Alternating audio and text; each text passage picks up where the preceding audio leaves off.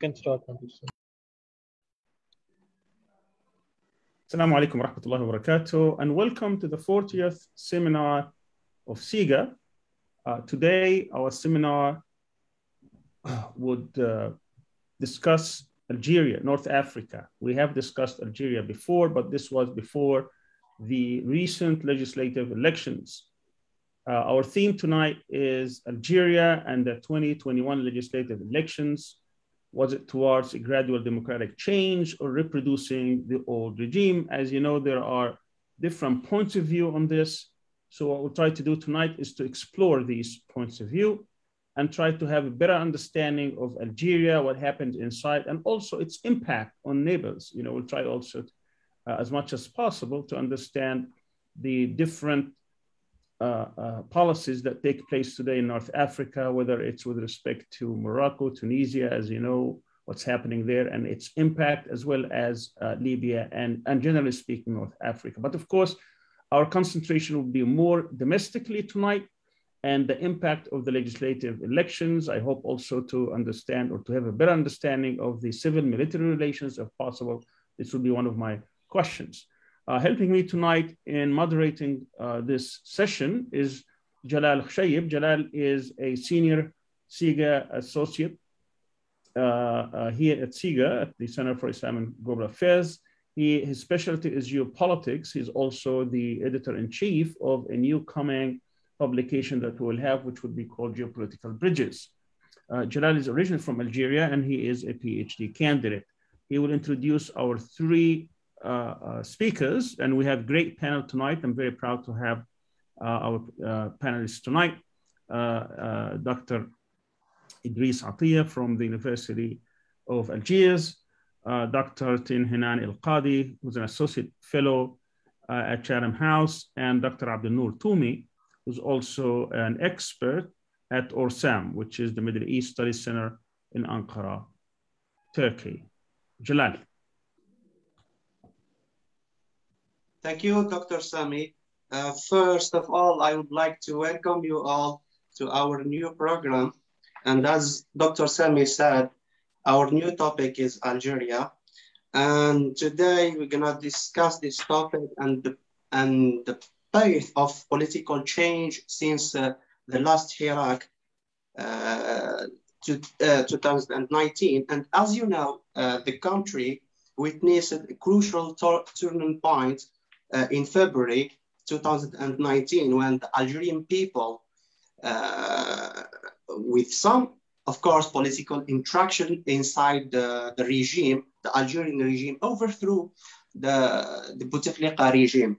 And the country witnessed like uh, a political vacuum uh, during uh, one year and with the huge protests and polarization, harsh a political debate among people and, and elites uh, about the appropriate political uh, process and tools to, to establish a new era and the new regime too.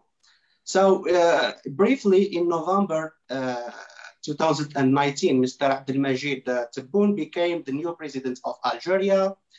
as you know, after the controversial elections, and he promised to initiate some deep uh, political changes in the regime and establish a new uh, era of democracy.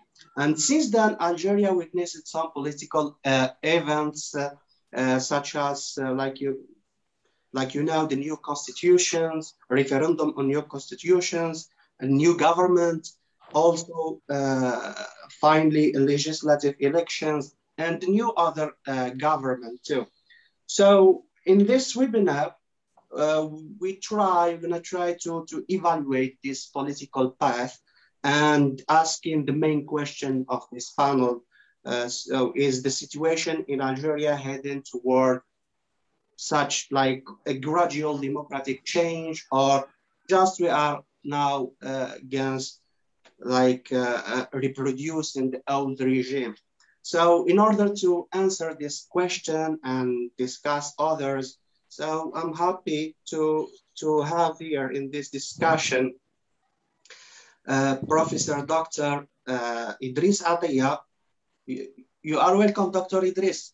اهلا وسهلا استاذ جلال شكرا لك على هذه الدعوه الكريمه وعلى هذه الفرصه الجميله التي جمعتني باساتذه وبزملاء افاضل من تركيا الشقيقه. Uh, thank you, Dr. Idris. Uh, Dr. Idris is a professor of political science and international relations at Algiers Free University in Algeria, and he holds PhD from uh, the same university uh, uh, in international relations and uh, NAME in African studies and international relations at the same university.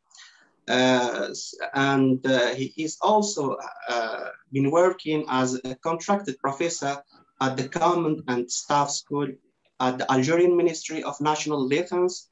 Also, he has been working as contracted professor at Algerian uh, Military School of Information and Communication uh, since September 2020. And Dr. Atiyah has held several scientific and administrative uh, positions uh, since years in uh, Algiers University and Tebessa, also uh, eastern of Algeria University. And besides his huge experience, Dr. Atiyah has many academic publications, three books, published books and three other under publication, mashallah, in addition to thousands of studies and articles, press interviews, and his main research fields is security, strategic studies, as well as uh, the Arab and African uh, African affairs. And I'm happy to to uh, invite in this discussion Dr. Uh, Tinhinan Al-Qadi. You are welcome, Dr. Tinhinan. Hi, thanks a lot for the invitation. Very happy to be with you all today. You are welcome. Dr. Tinhinan is a political economic researcher and associate fellow at Chatham House in UK. Uh, and she is part of uh, Middle East and North Africa program at the same institutions. Uh, she got his bachelor in politics from SOAS University of London. And also she is part of research team of LSE, the, the, the London School of Economics, and investigating the political economy of data-driven innovations. And she works also with another projects at LSE, uh, LCE, uh, focusing on North-South knowledge production and implication implications for uh, the integration of development country, uh, countries in the global knowledge economy. And her research interests include innovation and the knowledge economy, information and communication technology and development, state business relations, frontier states and democratic issues, and as well as the Chi uh, China and North African issues. Uh, and uh, she published a lot in different academic journals and, uh, and magazines. Uh, and uh, I'm happy to, to have Dr uh, Abdennour You are welcome, Dr. Abdennour Good evening, and good evening to my dear colleagues and the panelists. And uh, thank you very much for having us this evening and giving us this opportunity to speak about what the latest or what's going on in Algeria. And thank you very much. You are welcome, Doctor. Dr. Uh, is a North African studies expert at ORSAM uh, Middle Eastern Studies Center based here in Turkey, in Ankara. And he got his MA in public law uh, from University of Toulouse uh, in France and Diploma of Advanced Studies in Political Sciences. And he served as a lecturer in the de in Department of Middle Eastern and North African Studies at uh, Portland Community College. And he uh, also served as a France and Maghreb correspondent for the Arab Daily News in Chicago in United, United States and research analyst and uh, coordinators uh, at the Center of Arab Studies and Development in Paris, in France, as well as humanitarian analyst at the Strategic and International Relations Institute, Institute uh, IRIS in Paris, in Paris, France. And Dr. Toumi also is an active author and he has uh, uh, different contributions, articles uh, on Orsam Daily, Sabah newspaper, and Sociology of Islam Journal, and others. And recently, Dr. Toumi published a book on Algeria, fortunately, so uh, uh, and entitled From Hope to Uncertainty, the Anatomy of Algerian Hirak. And uh, I would like to benefit from uh, some fresh ideas in our discussions, inshallah. So uh, as Dr. Sami said, uh, each speaker now have like around 20 minutes uh, to ask the, to answering our main uh, question. Then we, we're gonna open the door for discussions and uh, and the Q&A. And uh, please let me start with uh, with Dr. Atiya. By the way, Dr. Atiya's presentation will be in Arabic, and our professor, Dr. Sami, uh, gonna give us some uh, translation of some general ideas. So, and I would like to start with you, Dr. Uh, Atiya. Uh, so, in general, I would like to ask ask you if um, about your perspective uh, regarding uh, these two years of political path and progress in Algeria. So uh, since the collapse of Bouteflika regime, so how you can evaluate this path and uh, do you think Algeria really entered in a new era or what was called the new Algeria, الجزائر الجديدة? شكرا جزيلا أستاذ خشيب بطبيعة الحال الموضوع مهم ومهم للغاية وأنا أشكركم وأشكر كل الزملاء الأفاضل الحاضرين معنا ومتابعينا هذا الموضوع سواء المتعلق بالانتخابات التشريعية الأخيرة في الجزائر التي تم تنظيمها يوم 12 من جوان 2021 أو كل المحطات والمراحل المرتبطة بالإصلاحات السياسية. أعتقد لا يخفاكم أن الجزائر شهدت حراك شعبي كبير انطلق يوم 22 فبراير العام 2019 رفضا لامتداد حكم بوتفليقه لعهدة خامسة ولرحيل الكثير من رموز النظام الأسبق كما أسميته أستاذ خشيب نظام بوتفليقه ورحول ورحيل رموز هذا النظام. بطبيعه الحال الوضع الجزائري كان مهم واكد uh, if you mind please so uh, Dr. Sami will translate some uh, ideas okay. Uh, فلنتحدث مقطعا بمقطع حتى تسهل الترجمه يعني بالنسبة للدكتور سامي. Okay. تمام. Uh, our professor said Uh, thank you very much. This is a very important topic.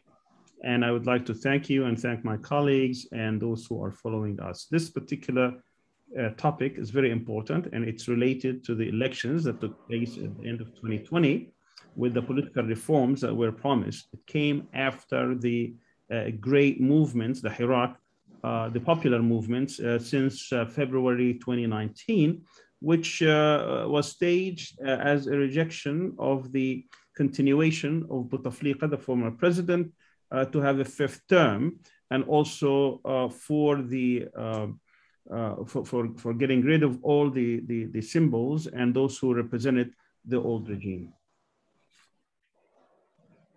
وبالتالي هذا الحراك ارتبط بتراكمات كبيرة لمدة 20 سنة من حكم الرئيس الأسبق عبد العزيز بوتفليقه لكن الشيء الذي أريد أن أقوله هنا أن الجزائر شهدت الانفتاح الحقيقي على الديمقراطية سنة 1989 بناء على دستور 23 فبراير 1983 1989 وهذا ارتبط بأحداث أكتوبر الخامس من أكتوبر 1989 التي طالبت بالانفتاح السياسيه بالانفتاح السياسي والتعددية.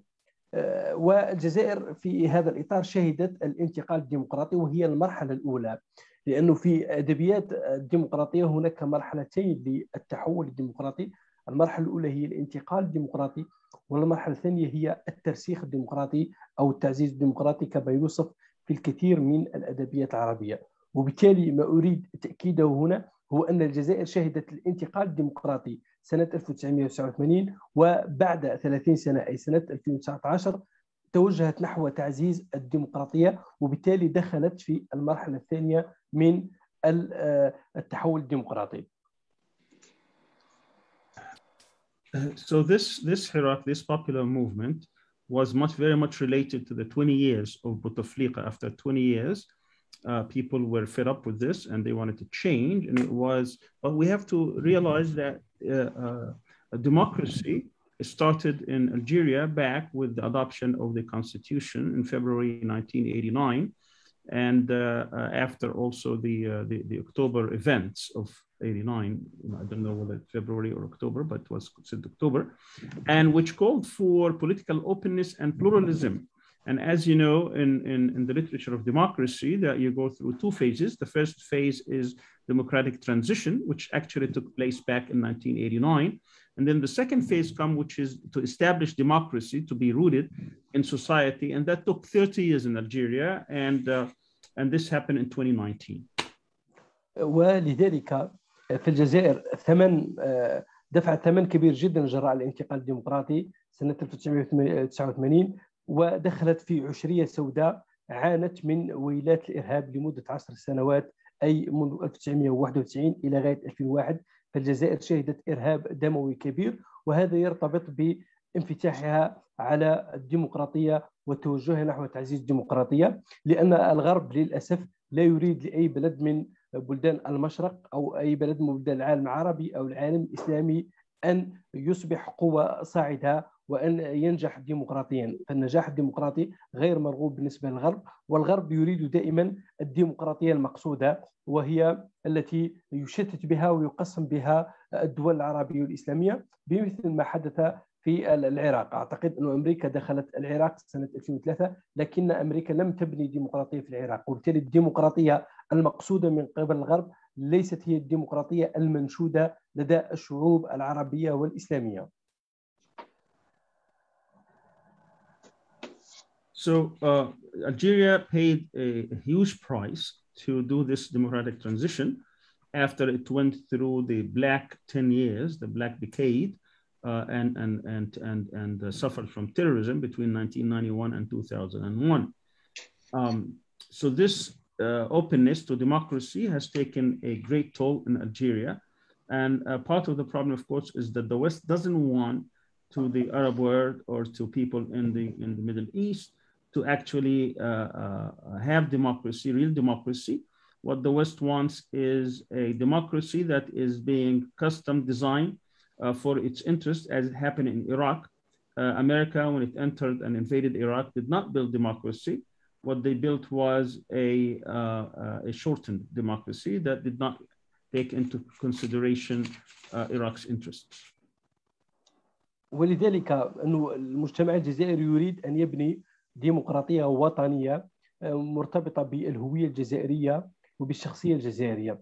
لأنها للأسف دفعت ثمن كبير جدا جراء العشرية السوداء بحيث تجاوزت الضحايا من الأفراد 250 ألف قتيل وتجاوزت الخسائر المادية 500 مليون مليار دولار. إلى جانب أن عشرية سوداء أخرت الجزائر زمنيا عن العالم كثيرا كثيرا. ومع ذلك فهي حققت انتقال ديمقراطي. لكن أيضا فترة حكم بوتفليقه وتراكماتها دفعت المجتمع بأن يسعى لتعزيز الديمقراطية والتوجه نحو الانتخابات الحقيقية وكانت أجندة الإصلاحات التي باشرها الرئيس عبد المجيد تبون واضحة ومحددة المعالم.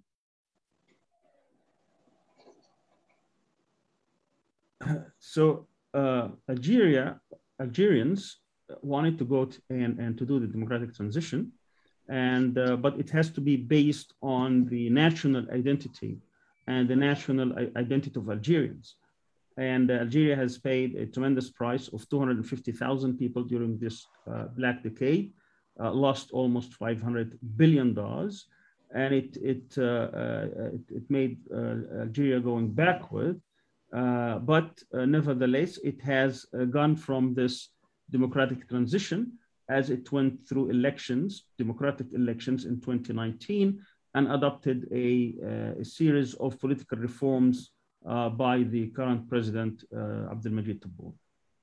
ولذلك انه حراك 22 فبراير 2019 اكد على ثلاث اشياء مدنيه الشعب الجزائري سلميه الحراك وثالثا دور المؤسسه العسكريه في الحفاظ على الشعب والحفاظ على الدستور. وهذا الشيء غير مألوف في العالم العربي أو في إفريقيا أو في العالم الإسلامي بأن نشهد المؤسسة العسكرية تؤكد على أن لا مخرج للجزائر سوى المخرج الدستوري. فهي كانت الحامي الأبرز للدستور وبالتالي هنا التجربة الجزائرية تقدمت واصبحت نوعيه اكثر واكدت على امكانيه توجه الجزائر نحو الديمقراطيه. So the uh, the Hirak, the popular movement of February 2019, has um, has shown us three important features. One is that this Hirak was civil in nature, it was peaceful, and also it, uh, uh, it showed that the role of the uh, uh, military establishment, the military um, institution, uh, was set to preserve the constitution, which is, uh, which is not typical in the Arab world or in the third world, where the military establishment insisted on having a constitutional uh, solution to the crisis uh, it has proven to be the protector of the constitution. So the uh, Algerian experiment uh, has, has proven that the military could actually become the institution that protects the constitution.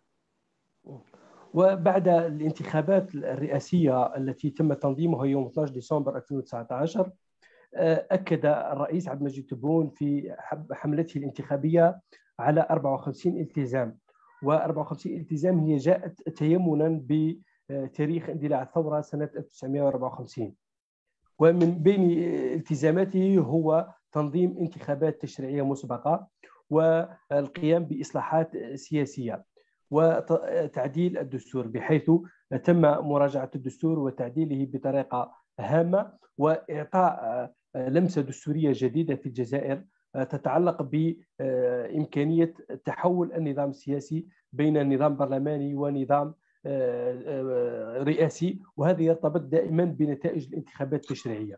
فإذا كانت الانتخابات التشريعية تفرز أغلبية برلمانية معارضة لبرنامج رئيس الجمهورية فالنظام السياسي يصبح نظام برلماني والأغلبية البرلمانية تشكل الحكومة أما في حال عدم حصول أي أغلبية أو حصول أغلبية رئاسية أي لها نفس برنامج رئيس الجمهورية فالنظام السياسي يكون نظام رئاسي ونذهب إلى وزير اول بدل تعيين رئيس حكومه. So after the elections, after the presidential elections of 2019, the elected President Tebboune uh, gave 54 commitments, and he used the, the, the number 54 because the original Algerian revolution against the French took place in 1954. So he gave 54 commitments. And one of the some of these commitments were to organize legislative elections, to do political reforms, to amend the constitution. And one of the most important amendments was to change the system so it will be both presidential and parliamentarian.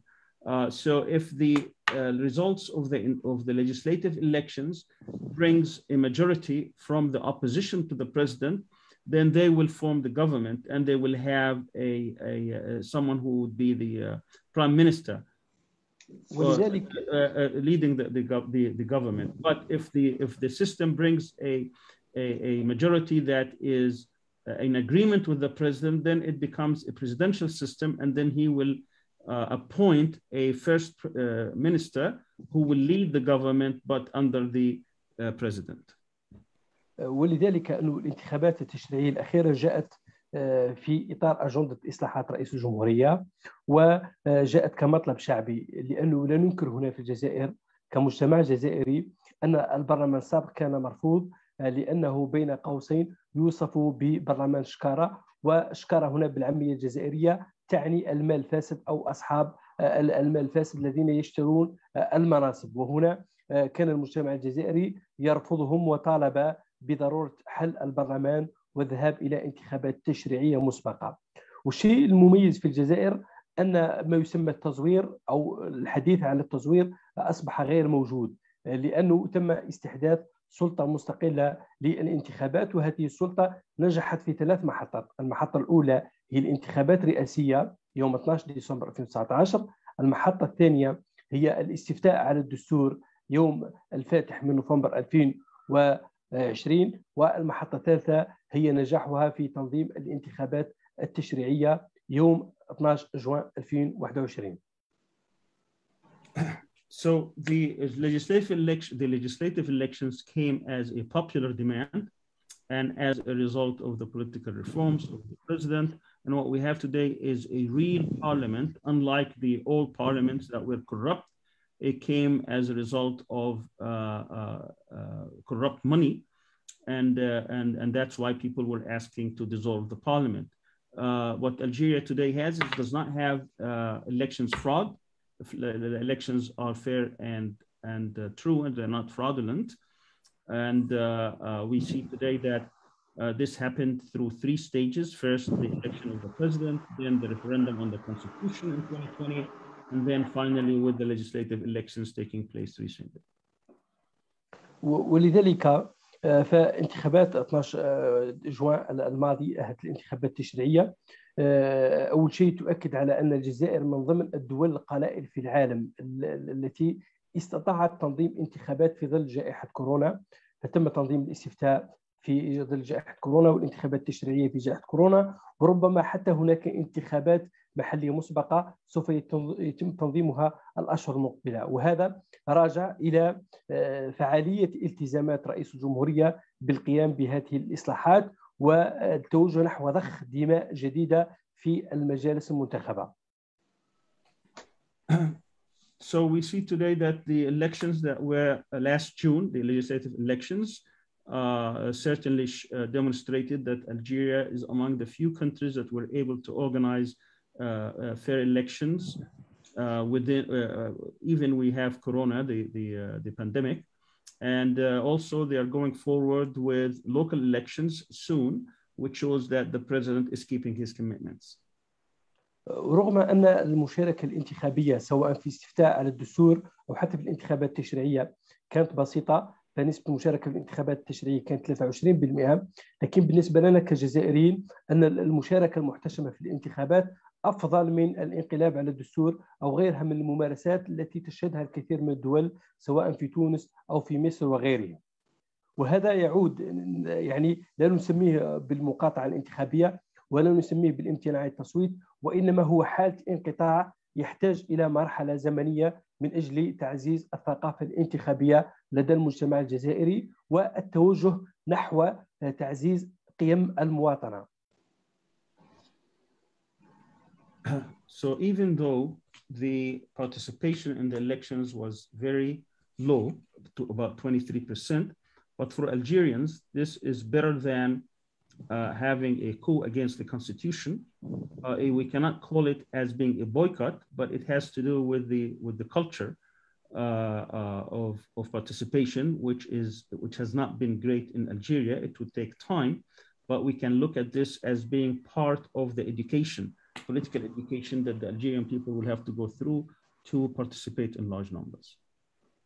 إلى جانب هذا أنه نستطيع رغم أنه نسبة المشاركة هي محتشمة رغم أنه نتائج الانتخابات حافظت على بقاء بعض الأحزاب التقليدية التي كانت موالية لحكم بوتفليقة على رأسها حزب جبهة التحرير الوطني وأيضا حزب التجمع الوطني الديمقراطي لكن نشهد هناك تقدم معتبر للإسلاميين خاصة حركة مجتمع السلم وتقدم كبير جدا للأحرار كونهم مستقلين لا ينتمون لهذه الأحزاب وكتلة الأحرار عشية فرز نتائج الانتخابات وظهور الأسماء الرسمية وتأكيد المجلس الدستوري عليها أنها على أنها سليمة أن الأحرار ساندوا رئيس الجمهورية في برنامجهم في برنامجه الانتخابي وحتى أن رئيس المجلس الشعبي الوطني كان من كتلة الأحرار ورئيس المجلس الشعبي الوطني في النظام السياسي في الجزائر هو الرجل الثالث في الدولة أي بعد رئيس الجمهورية ورئيس مجلس الأمة يأتي رئيس المجلس الشعبي الوطني كرجل ثالث في الدولة وهو رجل مستقل غير متحزب ولا ينتمي إلى الأحزاب. So we could see that even though the participation was low, but we also see that the traditional parties, particularly the National Front, uh, even though they, they scored some gains, but we also see others, particularly from the Islamists, who have uh, gained uh, many members in the current parliament.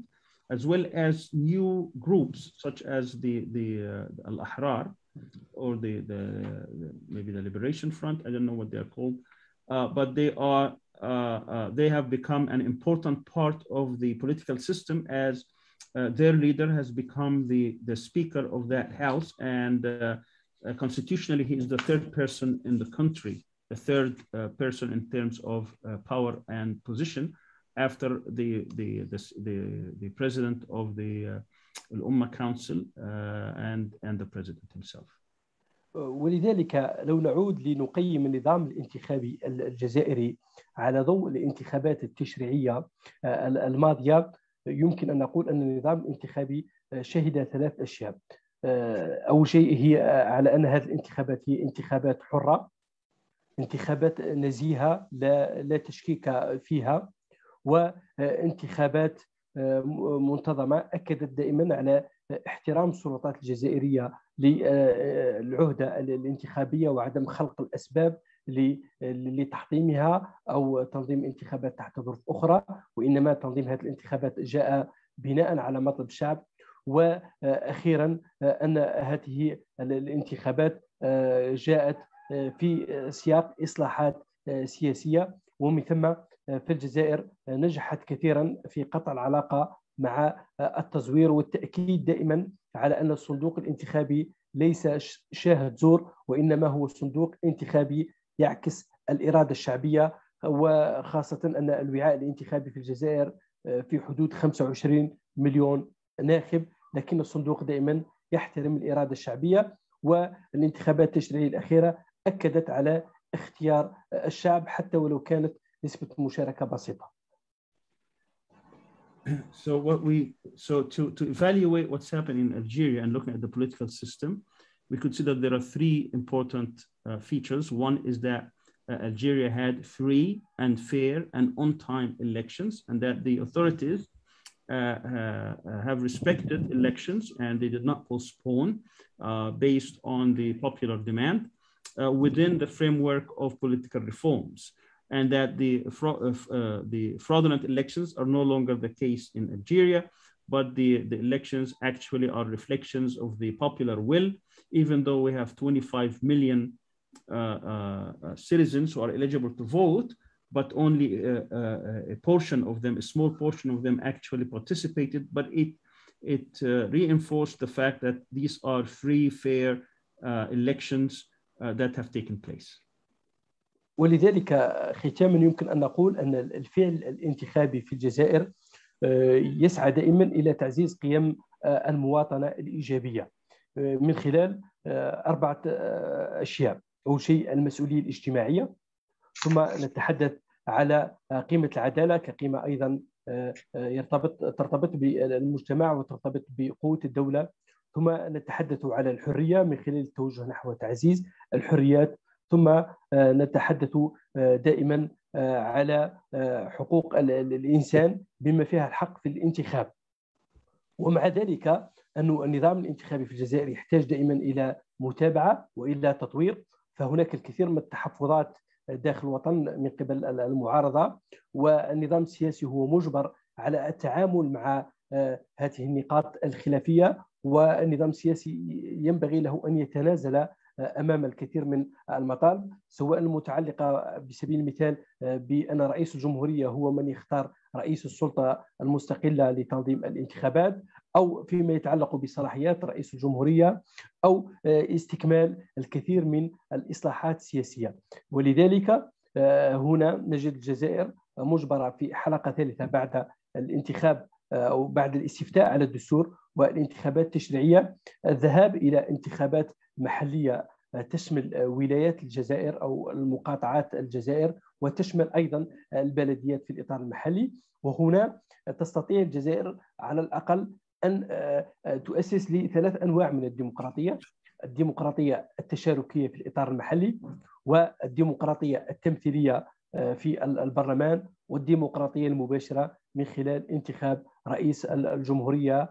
فرئيس الجمهورية يبقى رمز من رموز الجمهورية ويعكس دائما الاراده الشعبيه. So uh, in conclusion, we could see that the, uh, the elections in Algeria has reinforced the values or the, uh, uh the, uh, the, values of citizenship uh, within four different categories, classifications, the social responsibility, justice and fair and free elections, the freedom uh, as the new constitution uh, is, is going to reinforce more uh, personal and community freedoms, as well as human rights, including the right to elect and be elected. The, the regime also needs to adopt more of the demands by the, by the opposition, uh, particularly some of the differences taking place about who would appoint the, uh, the head of government. And uh, we could see uh, finally that there are three kinds of democracy or democratic systems in Algeria. Uh, the participatory democracy, as we see within the local elections, the representative democracy, as we've seen in the legislative elections, and the direct democracy, which is the uh, election of the president, uh, which, uh, which embodies popular will. ولذلك إنه نستطيع أن نقول الجزائر تستطيع أن تتحول إلى منارة ديمقراطية في المنطقة رغم إنه التجاذبات الدولية ومحاولة اختراق من طرف المستعمر السابق كفرنسا أو بعض الممارسات الخاصة بالدول العربية التي ترفض نجاح الديمقراطية في الجزائر لأنها تتخوف من انتقال العدوى لها خاصة الأنظمة الملكية والأنظمة التسلطية التي تتخوف من أن آه، تنقلب عليهم شعوبهم مطالبة بالديمقراطية. فالتجربة الجزائرية اليوم هي ناجحة لكنها تحتاج إلى التماسك تحتاج إلى تعزيز الانفتاح على الرأي والرأي الآخر، تحتاج أيضا دائما إلى الاستفادة من التجارب الدولية سواء في التوجه نحو الديمقراطية أو الانفتاح أيضا على المشاريع التنموية، ولذلك الجزائر تستطيع أن تكون تجربة مهمة يستفيد منها الكثير من الشعوب سواء في العالم العربي أو في إفريقيا، وأخيرا أشكركم جميعا كل باسمه ومقامه أجدد شكري للأستاذ جلال خشيب وأشكركم شكر خاص أخي الفاضل الأستاذ سامي على هذه الترجمة. so uh, uh, Algeria is capable, in conclusion, Algeria is capable of becoming a beacon of democracy in the area, in, in the region. Uh, despite the policies of some of the imperialist or colonialist powers, such as uh, France or other regional powers, who don't like to see uh, democracy in Algeria or even in the region because they think when that happens, uh, their own people will topple them. So they fight democracy. what Algeria needs also is more openness towards the, the, the opposition to the other opinions, as well as to benefit from uh, other uh, experiences and experiments, international ones, and also to adopt more of development projects. And uh, when that happens, Algeria would become a, a, model for the Arab world as well as uh, for Africa. Thank you very much uh, for uh, uh, inviting me. I really appreciate it. Barakallah. Thank you, thank, thank you, Dr. Idris, for this presentation. And a great thanks to uh, our professor, Dr. Sami, for this uh, translation. Uh, so uh, it's obvious, obvious that uh, Dr. Idris uh, believed that Algeria going toward such gradual demo democratic change. And they also said that Algeria will be like an attractive uh, model for other for other nations, especially in Arab world. Uh, and he see this this is a normal, uh, like normal process for democracy. First of all, democratic transition, then democratic like establishing, uh, the establishing democracy in Algeria, and this is a logic uh, uh, pace of, of change. So let's move to our doctor, Tin Hinan El Kadi and bring such such questions and conclusion to her, uh, Dr. Uh, Dr. El Kadi.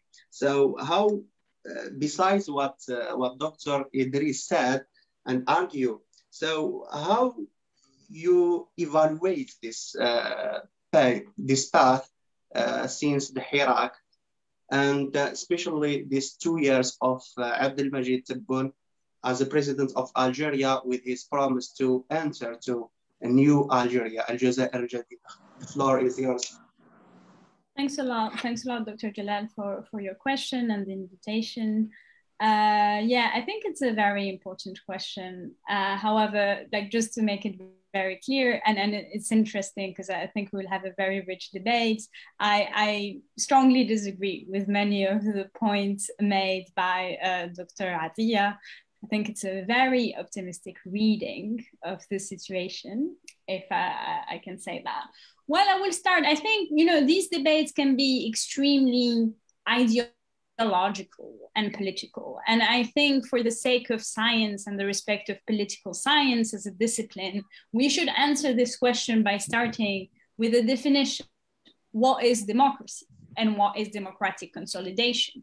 And then accordingly, we can assess if Algeria is going through a democratic transition or is not.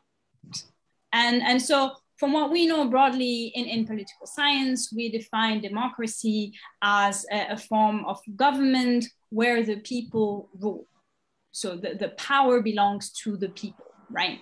And, and we, we measure it traditionally through, through voting, through the freedom and transparency of elections. We also assess it through participation rate, which is not marginal, uh, and also according to other values like, you know, respect of freedom of speech, respect of the rights of assembly, uh, and, and all different like political rights uh, that are out there. And if we take these components into account, well, I think it's very hard to make the argument that Algeria is going through a democratic transition. And so if, if we just start with the simple fact that you know the, the power is supposed to belong to the people, well, I think arguably it's very clear as it stands in Algeria from its constitution, its new constitution, which was voted in November 2020, that power still heavily relies within the military institution. The army in the country is the true power holder. The organization of the December 2019 presidential elections were clearly a decision that emanated from former chief of staff, General Ahmed Gaid Saleh, who decided that the outcome of the popular uprising should be the organization of these elections. And we knew beforehand that uh, Mr. Abdelmajid Tebboune was his favorite candidate. So I think it's very hard to make the argument that this process was transparent and emanated from popular will, because just empirically looking at the images, there were tens of thousands of Algerians, both in Algeria uh, and abroad, contesting this electoral process. I think it's hard to narrow down democracy in the election in the organization of elections. There are thousands uh, of instances where we saw the organization of elections in authoritarian contexts. I don't think we should have this narrow vision of what democracy is. I mean, we've been organizing elections during Bouteflika's era. Did it mean that it was democratic and that Algeria was a democracy? I doubt it. Now, when we talk about like democratic consolidation, there is you know definitions for that, and then there's the famous Huntington definition of the uh, test of the two turnarounds. It's the idea that you need to have two free and fair elections and passation of power happening consecutively. And Algeria has not seen that. Uh, we've seen uh, very much like uh, a positioning by the military institution trying to concentrate powers after Bouteflika stepped down and the organizations of elections which you know were contested by, by, by many people. And so actually the lowest turnout uh, in Algeria's history in terms of presidential elections. So I think this is all very problematic. But then if we move away from the vision of elections and try and, and assess democratic rights because as i said democracy is not just the organization of elections. It's also democratic rights political rights civil rights and so on. Well in terms of freedom of assembly uh, the situation has arguably gone worse. And i'm just trying to look at empirics we have several recognized, legally recognized political parties within the opposition that have been systematically facing challenges by the central regime. There is the example uh, of the uh, RCD party. Uh, there is uh, currently, as we're speaking, the leader and the president of a political party, a recognized political party. That's the uh, MDS, Democratic and Social Movement party who's actually in jail for practicing politics within a legal framework. So, uh, also, when we talk about freedom of expression, uh, we're seeing journalists currently arrested and, and being suppressed just for the practice of, of their rights. So, currently in Tamanrasset, uh, Rabah Karèche is in jail, has been in jail for over three months uh, for writing a press article. So if we take all these components into account, uh, I, I, think it's very hard to see that Algeria is going through a democratic process and like through further democratic consolidation. Um, I think that an important point is in the constitution. Constitutions very much shape political environments and determine the distribution of power. And this is a very important way of assessing to what extent a country is democratic or not. And if we take a look at the latest Algerian uh, constitution, which was voted in November 2020, we can see that there is a clear concentration of powers around the person of the president. So uh, Dr. Atia was uh, talking about, you know, the new parliament that we have and the legislative elections. The truth is that the parliament in Algeria has very little political power. It is not an institution that has the capacity to, to, to change things. I mean, the, the president still has the upper hand over the, the parliament, the judiciary, uh, and also the, the executive. So we're seeing, you know, many analysts have, have looked at this latest constitutions and argue that it was one of the most authoritarian in the Mediterranean in terms of concentrations of power. And so uh, I think this is like very important indicators or, of where things are heading. A very important point, and that was a novelty in the latest constitution, is that for the first time it recognized the political role of the army. And this is in Article 30. So historically, the Algerian army always played a heavy role in politics. Uh, this decreased a bit during Bouteflika's era, where the uh, military civilian relations uh, tweaked and shifted towards the, the presidency, where Bouteflika tried to concentrate powers.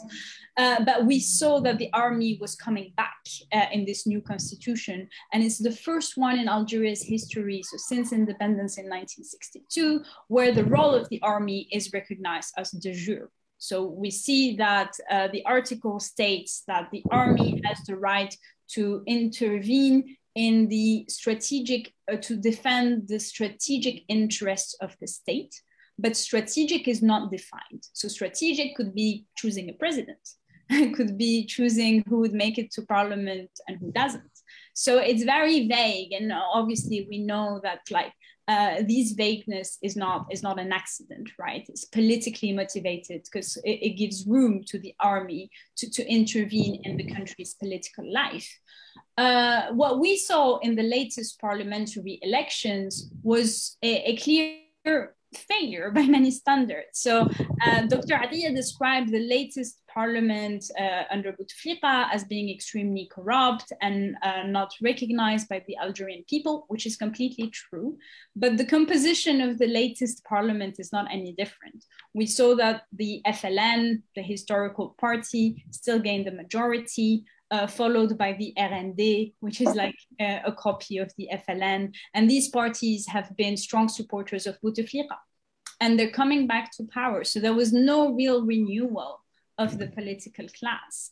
And this is mainly due to the fact that the Hirak, the, the popular movement, which started in Algeria in uh, 2019, very much rejected this process. For many Algerians, and here I'm sorry, it's not scientific, I'm just saying many And this is because we can't really do surveys in Algeria. And this is due to the authoritarian nature of the state. It's illegal to go as a researcher, as a political scientist, and survey people on why they vote, why they don't vote, what they think about these elections, about these political parties. We, we don't have that data.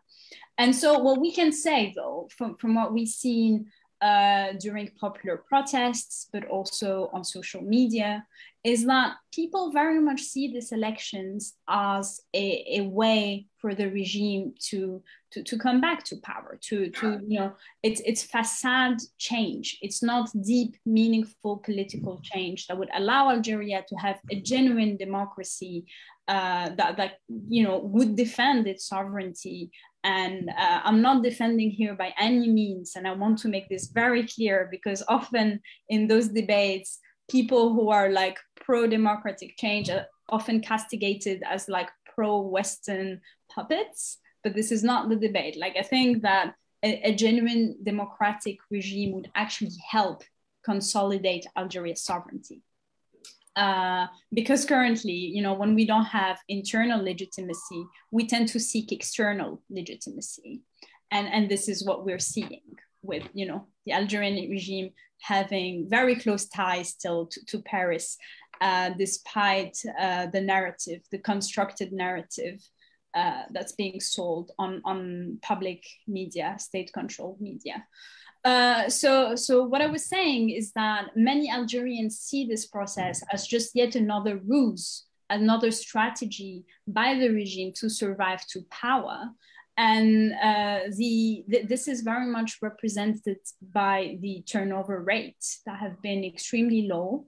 Uh, we witnessed, yeah, like 20% of Algerians participating, and these are the, the lowest rates ever. And these are official and and there was actually a lot of, of you know comments and criticism about how transparent the process was. So uh, your previous guest mentioned that the islamists made progress. Actually the msp the islamist party he's mentioning uh, criticized the process for being fraudulent.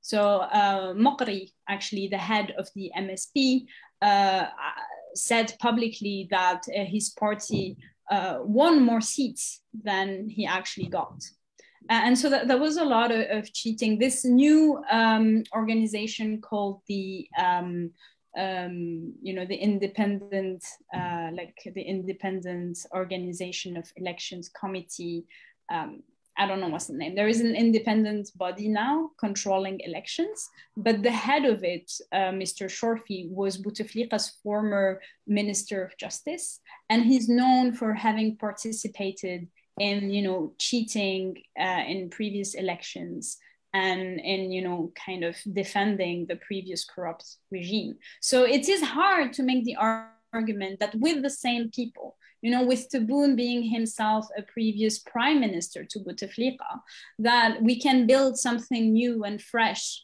out of these people who, who were clearly part of, of the regime uh, the, the, the, other point I want to make outside of the politics is the country's dire economic and social situation.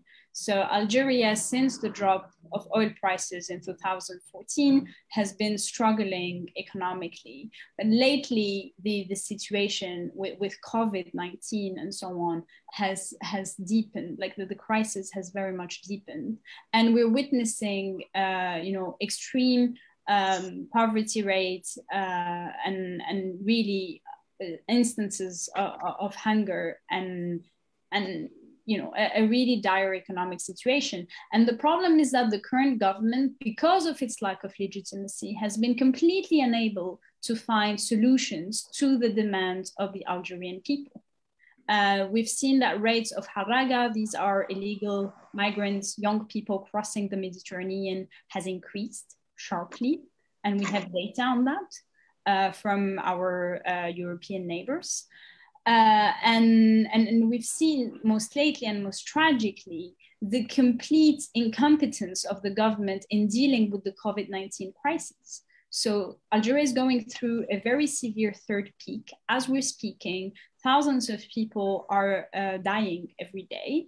Uh, official data is very scant and unreliable, uh, but Algerians did not find a government that was able to, to answer the, their needs or to, to, to present any solutions or reassuring words indeed. And, and so it's very problematic because when the president gets sick, and this is just empirics, he went lately, uh, as of November 2020, to Germany to, to get treated from his uh, COVID 19 infection. However, the Algerians are left without a healthcare system, and this is a, a, very problematic situation. So, just to sum up and to leave more space to the debate, which I'm sure is going to be interesting, uh, Algeria did not, unfortunately, go through a democratic transition. Uh, the Hirak very much asked for a radical rupture from uh, the previous practices. However, what we saw is an attempt of the political system to uh, survive to power. And there was the organization of uh, facade elections. This includes the presidential election, the uh, referendum about the new constitution, and the latest parliamentary elections. Um, these did not have any political weight. Algerians did not participate in these elections. And um, eh, to, to move forward, there is a need for a genuine dialogue between the regime and the opposition to find a consensual route for genuine and meaningful political change. I will stop here. Thank you, Dr. Tin Hinan, for this amazing presentation.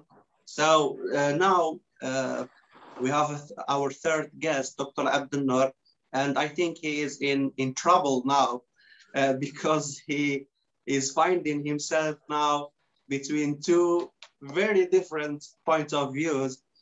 Uh, Dr. Idris said and argued that uh, Algeria is moving now toward democracy and it's gonna be like uh, a model for other for others, an attractive model for others uh, in democracy and a new experience and we will uh, teach others what does mean democracy and democratic transitions.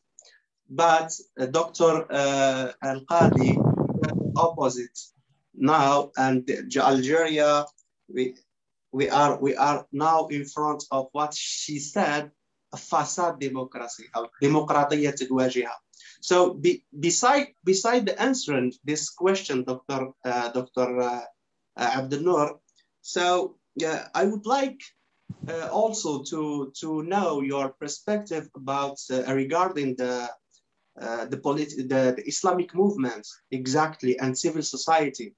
So just I'm trying to to benefit from your your fresh book. Uh, which published this year. Dr. Abdennour, the mic is yours. Thank you, Dr. Jalal. Uh, thank you, uh, the, the, my dear colleague, distinguished uh, panelist here with me. Uh, as you said, actually, I am in a big, big trouble because I have to break through these two interesting point of views of my dear colleagues. Uh, and actually, it's very interesting because it will lead to the title of my book, which is from hope to uncertainty, uncertainty for the anatomy of Algerian Hirak. And I think this is what has been going on for the last two years. Uh, before I will ask, uh, answer to your question on the uh, latest evolution or the evolution of the Islamist movement in the Algerian uh, I would say, uh, post FIS or ex FIS dynamic or trajectory than the during the uh, Bouteflika uh, era. I think it's very interesting point also I wanted to touch on because when speaking about Bouteflika, it's not ex-president Bouteflika It's not really a regime, it was a system. As we say in Arabic, uh, actually it was يعني منظومة سقطت ولم يسقط النظام. Uh, the regime in Algeria is still intact. uh, since uh, 1962, even, even though the steps or the dates that marked the Algerian uh, regime, which was, I think, three or four important times, 1965, 1967, 1992, and then in 2019. All these stages, I think, are important to uh, at least uh, mention, even though we don't have uh, the time to go through all the details. Uh, now, as far as the uh, democratic process in Algeria, and then, as I said, I have to position myself between my two dear uh, colleagues and on their points of view. Maybe the age and some, because when we get older, we get wiser. Because I am, I belong to the generation of 1989, and uh, I agree fully with uh, Dr. Uh, Atia that was the Constitution of 1989 that opened the or cleared up clearly the political process in Algeria, and unfortunately, the uh, democratic process didn't go through at that time. It was aborted. and to be honest, also and uh, clear and fair with our viewers and followers and uh, ourselves, it was a tragic coup that ended the democratic process that was going through, I would say, a learning process at that moment because Algerians, I mean, have the culture of militancy and political awareness, consciousness, etc. And that goes to from, from now to a century. So we're not going to, uh, I mean, spend much time on this. But that period of 1989 and with the constitution, I would again humbly say it and uh, mentioned it in my previous writings. That was that constitu uh, constitution was first of all was a real constitution, meaning by that a constitution of law. As we say, c'est une constitution de droit uh, uh, in French. Unlike the previous constitution of 1976, that was a constitution of program. It was like I say in Arabic, barnamij. And the system wasn't the same because at that time, we, we spoke about when we say then if we quote Montesquieu about the separation of the three powers, I mean, we, we in that moment, I mean, it was clearly in the Constitution of 1976, they were called wada'if, functions, yani wada'if thalath, the, the executive function, the legislative, uh, legislative function, and the judiciary function. But in, 2000, in, in 19, 1989, the constitution of the Second Republic was clearly for, I mean, they, for the separation of power, and that allowed the uh, legality of the political parties that the majority, or all of them, besides the unique party, the FLN, who was the, legally recognized and was the ruling party of the country. But the other parties, they existed and they had behind them, I mean, like 30, uh, that moment, like 25, 30 years of clandestinity. And here it's a very interesting element I would like to touch on, but to understand what's going on in these days and even during the Hirak times the, of 2019 and then the uh, situation or the uh, implications that came or emerged from this Hirak. And here is about the political parties. When we spoke here about political parties, those political parties post, again, the 1992 coup and the constitution of 19, uh, of 19 I believe, 96, and then the arriving of President, ex-President Bouteflika to power, that, I mean, we have to understand this, and I think there's not going to be scoop because Abdelaziz Bouteflika, he did it, he never left the power because he's one of the designers of the Algerian regime. So he made that kind of 10 year, uh, let's say, journey, but he came uh, uh, strongly to power. So my point is about the political leaders despite their ideology differences and agenda, strategy, and objective, how they will uh, conquer to power, indeed, legally via elections. But listen carefully. I mean, this is not an order, but just I mean, you have to, to focus with me on this point.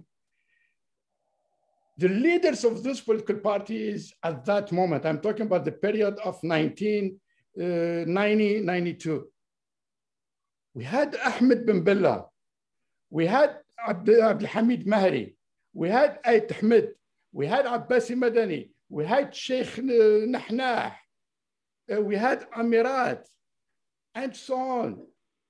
In 2019, what, do, what did we have? Seriously.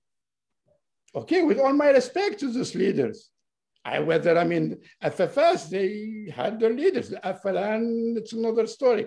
Even the Islamists. Now, uh, Dr. Jalal, to come to your question about the evolution of the Islamist movement or the Islamist parties. The Islamist parties, they are today in a deep political crisis because of their, I mean, let's say faux pas, and to some extent was almost a political suicide that committed under the, the, the, the Bouteflika system. And here, but it was purposely done by Bouteflika because Bouteflika, ex-president, on my respected person, Abdelaziz, ex-president Abdelaziz Bouteflika, when he came to power, he knew well how those parties functions. With again, so what he did, he applied very simple strategy, divide and impera. And he applied his strategy to all the, all the three main ideologies in the, in, in the political spectrum. He touched the first the Islamist, he divided them into three, four, five, six uh, parties and then created even micro parties. He went to the nationalists. He did the same thing. He enhanced the Europe fight between the RND and the FLN. And he did the same, uh, I mean, same strategy with the so-called liberal parties or left parties. So these, uh, let's say, poor performances had pushed to some extent the voter, I would say the voter, I would say all Algerians, to hate politics. And democracy for them was a curse. I mean, I of course I give you this. I left the country 32 years ago, but I'm in contact daily with Algeria, and I'm in contact daily with my with my roots, and I know what Algerians are saying. I, maybe someone says, okay, or someone says, okay, you are living abroad, you don't know what's going on. No, I know what's going on because I speak daily with Algerians. So, what made them hate politics is the behavior of the politicians, including the Islamists. And if today, I mean, the Islamists were having like solid, uh, say, bulk or like electoral reservoir that goes between 30 to 35%. Today, we don't see this. Even though like the late election or latest elections of you know, the last June, I mean, the Islamists, they made, I would say, kind of like timid uh, victory, but still, I mean, knowing the sociology of the country, knowing the uh, uh, their implementations in the society, and of, of course, their power. So it's poor results. So that goes for the nationalists. Now back to the FLN. So what happened to the FLN, and that, to be frank with you, was also a surprise because I didn't think we were expecting that the FLN party will come first. It did come first. Why? Because again, sociologically, the FLN well implemented and also uh, like clune in the society. And also, we are missing the point here about the boycott. Let's, I mean, let's be frank. I mean, boycott is a boycott. And people, again, they are not voting because they don't trust politicians. And they are tired, uh, sick and tired of politics. Because in the end of the day, they will say, okay, I, I mean, I just in my level, I try to lead like interviews with like basic people. I say, why don't you go to vote? I mean, there is change. I mean, this is not the same. Look, people are, I mean, you have this, let's say, category of ages that belong to your generation. Okay, I am old. I mean, I'm not expecting anything. I wish just the best for my country, but I'm not hoping for anything else. But you, it's the future. So, you know, my future, my future is elsewhere. As uh, uh Dr. mentioned about the Harga or the Haraga. This is very, very, very like sad story. So therefore, the situation or the current situation, which is in a blurry situation. But who made this situation? I mean, they cannot break through, are two responsible, the political parties and to some extent, the elite. When I, say, when I speak about the elite, including the media, I mean, it doesn't matter. I mean, how, what's their, the, I mean, their ideology orientations or their agenda, but they didn't help the process, meaning by this, this learning process. It is true, I mean, Algerians are open to freedom and are hungry and thirsty for freedom. And they want uh, to uh, the, the, the democratic process to succeed or to excel to, to some extent but it has to be with credible, let's say, uh, delivery, because there is nobody to deliver to them. And also, we are missing another point. When we mentioned about the President Tebboune, President Tebboune, he, I mean, officially doesn't have a party. I mean, he pre uh, presented himself to the voters as an independent. Okay, we're not going to argue. Okay, he is uh, one of the regime's sons and he spent all his career. That's another story. But he doesn't have a political party to lay on or to, to rely on. So he understands also those political parties. And if you are, I mean, if you are paying attention to his tactic, he's trying to discredit more like Abdelaziz Bouteflika did with the political parties, not to divide them, but to some extent weaken them. And his uh, force now is the so-called civil society groups or associations that he's trying to put them in front seat, which is good if he excel. But the problem with this, democracy needs like an intermediary bodies that can help this process, this learning process that we call it democracy. And when we speak about democracy, indeed, it's about the law of rule or according to the Anglo-Saxon definition or to the uh, French definition of l'état de droit. How are you going to implement, implement this? Of course, I think I heard in one of uh, our uh, um, uh, my dear speaker, uh, colleagues, is said about the uh, political culture. So political culture is important. And as I said, Algerians are politically uh, aware and they have that sense of political consciousness, but to some extent are not really responsible. They're not responsible or they don't want to be responsible. I mean, here between the three main, the masses, the elite, and the political parties, even though the political parties, they belong to some extent to the elite. But here to blame or to put all the blame on the regime. That is still, you have the right to criticize the regime. But the regime knows well these, the, the regime knows the masses and knows the elite and the political parties. This is why when we say like, okay, Algeria is not going to be democracy or will be, or to see like, I mean, we can like portray a very dark picture about democracy. Of course, if you are expecting a democracy like the French democracy or the American democracy or the German or the British democracy, I think we have, we will wait for that. But it is something positive is coming through this dynamic. So this or this dynamic that is pushing the trajectory of the desire of change. The problem with this, as uh, Professor Atia mentioned earlier, like there is this, the transition democracy, and then the implementation democracy. How we're going to implement this? The problem now today, we are in, I agree, we are in the second step. But the problem, we cannot or we couldn't, when we say we, I'm putting in, in brackets, I mean we, the people or the, the voters, we still don't find who's going to implement this project, who's going to help us, we, the average person, the voters, to go and vote like with my own consciousness without having any doubt, even reproach to the outcome.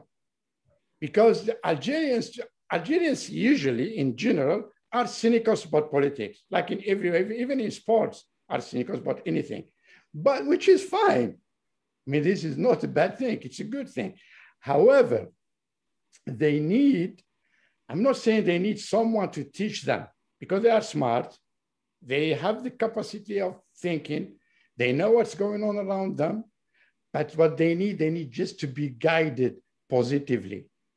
And how I'm going to put this, I'm sorry, uh, Jalal, I think I'm out of time. I, I, Dr. Abdel uh, because our colleague uh, Tin Hinan uh, must leave, and she, because she has another meeting now, uh, so I, I would like to to stop with you here in positive, Just one minute, positive one minute. Points, and I'm gonna return to you to clarify this uh, this point. I would like to benefit from uh, her presence now uh, with two or three questions before uh, she leaves. So this is technical problem, as we say back home, يعني من عندهم خارج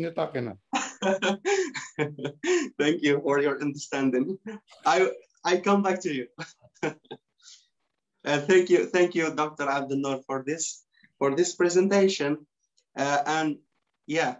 No, just one point. I'm going to end up with this. I'm going to sum up this. okay, okay. So yeah, I mean, what we are saying again, to be in the position between the two, uh, my two dear uh, colleagues' uh, point of views, I think the key word here is compromises. And this is the problem. For all the parties, they still don't understand the meaning of compromises in politics. Everyone is still eager and to some extent uh, attached to his, her ideas. But this is not going to work. If we continue on this path, we will not, I mean, we will not have democracy and I mean, the civilians, and this is will enhance the military. Okay, thank, th thank you, Dr. Abdel uh, Dr. Sami, if you don't have any question to our colleague Tin Hinan, so let's me let's me ask because I have three questions to her. To her. I do have So- a question, but I will answer. I will ask it after you ask yours, and maybe she can put them all together.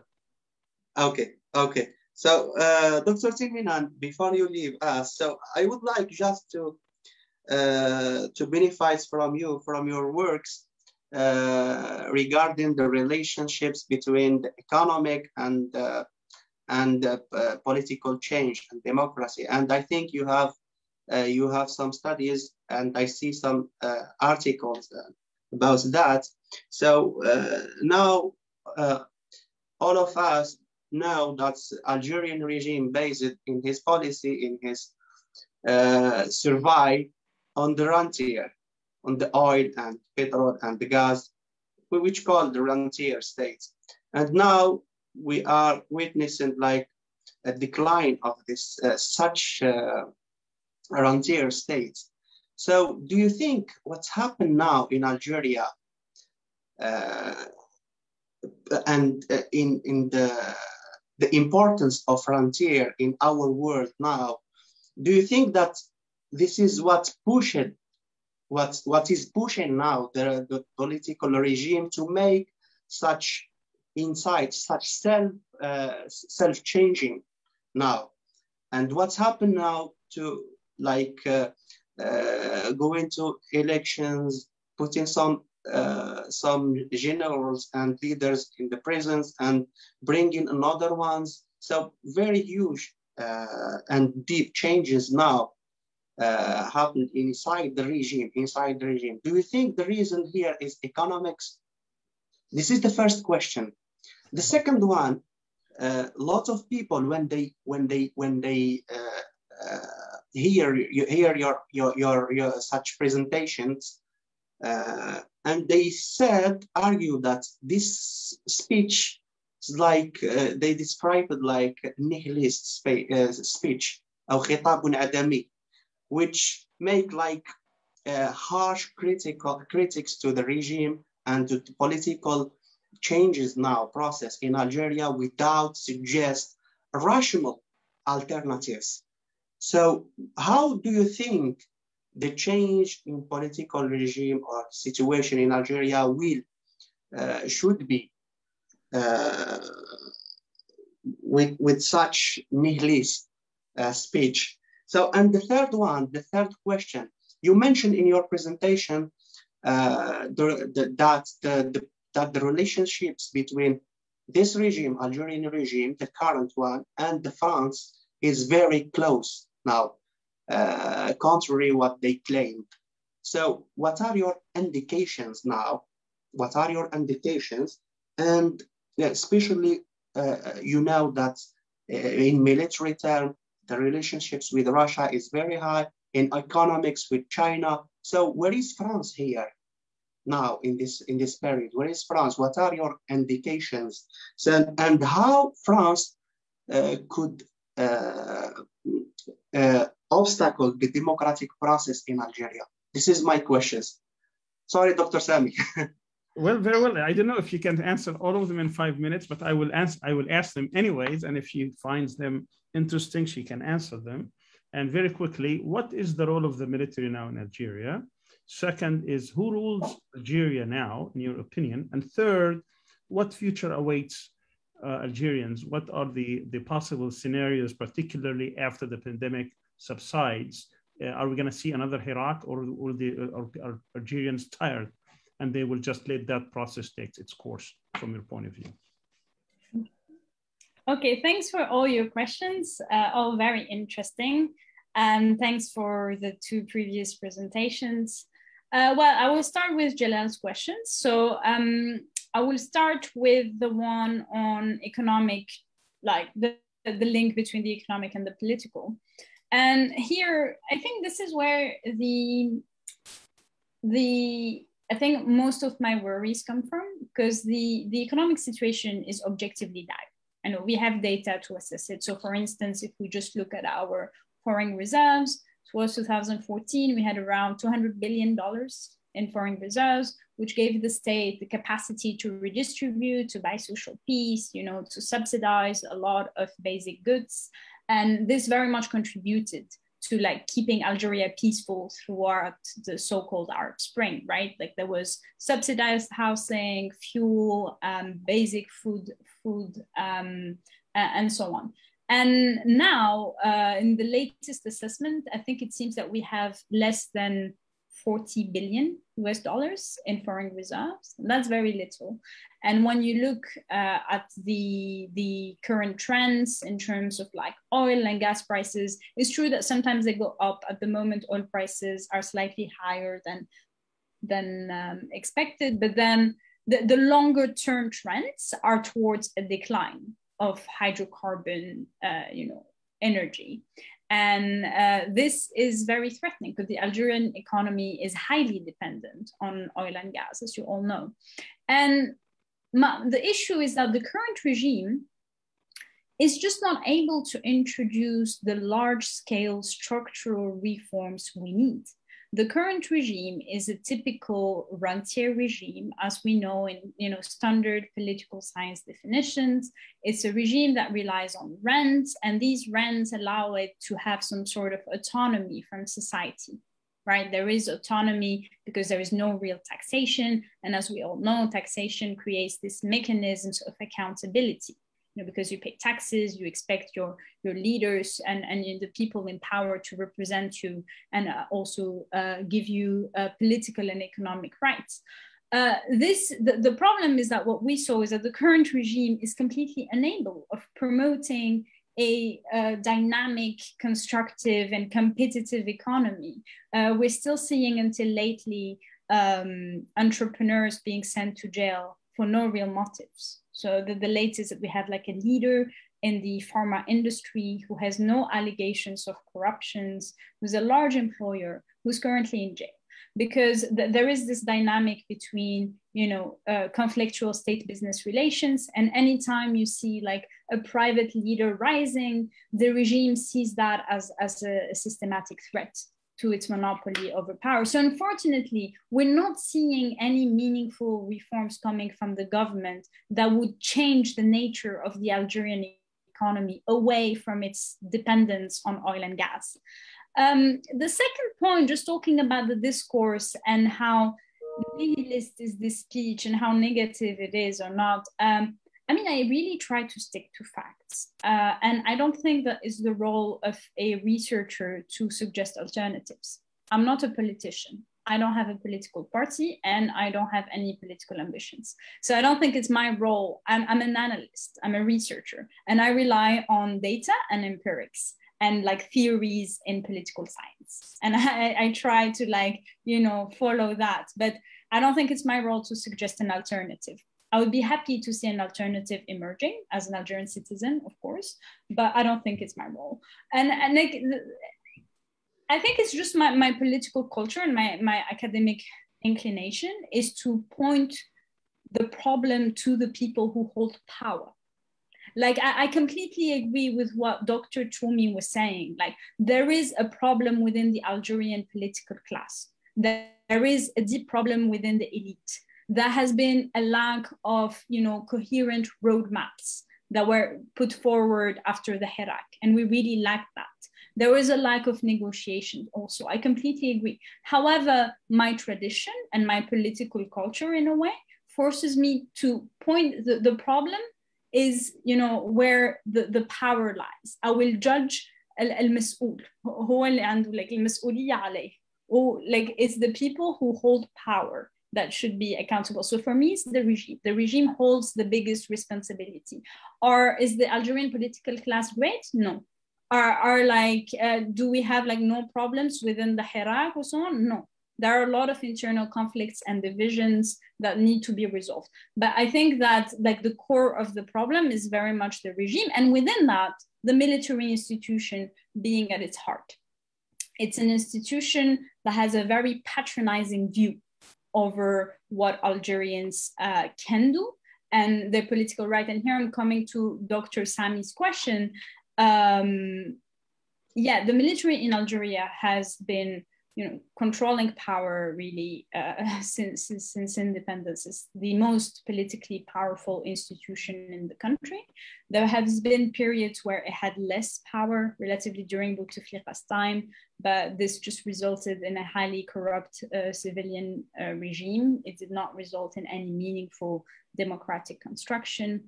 Um, and, and the problem is that the army very much sees its role as that the father of the nation, as the only institution that holds the political and historical legitimacy to rule over Algerians. You know, it's the narrative that we fought for the independence of Algeria, we should rule over it.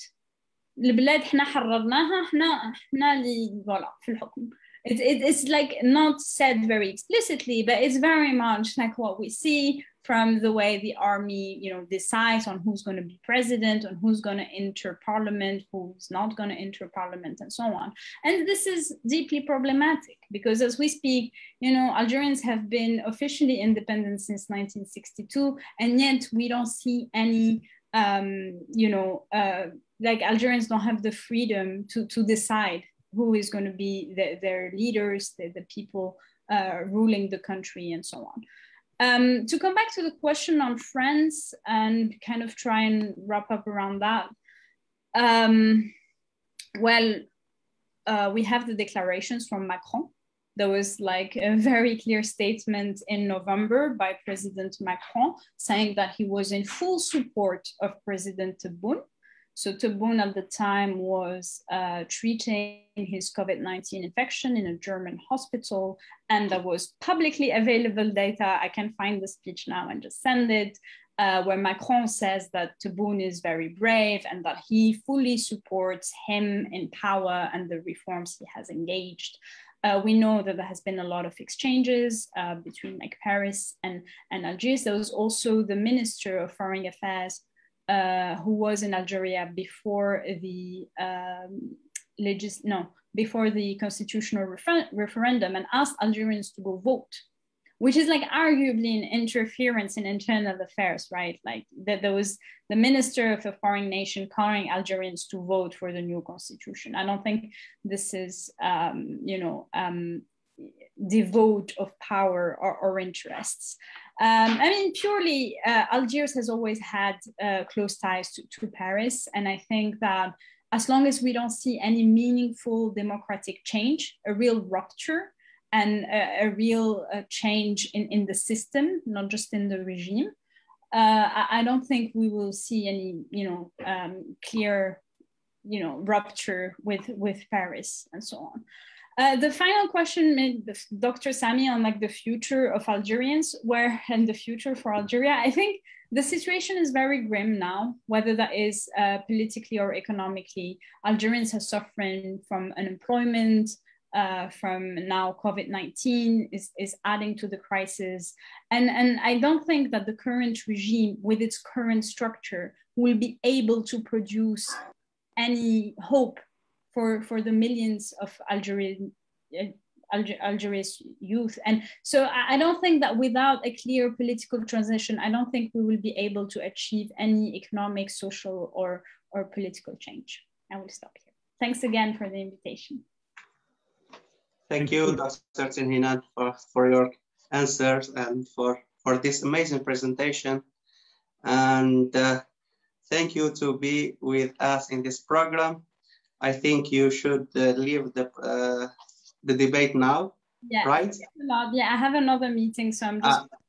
Thanks for the invitation. Okay. Thanks to the other two speakers. Thank you. Inshallah, we'll get you in another uh, program in person, inshallah, here in Istanbul. Inshallah. Thanks a lot. Thank you.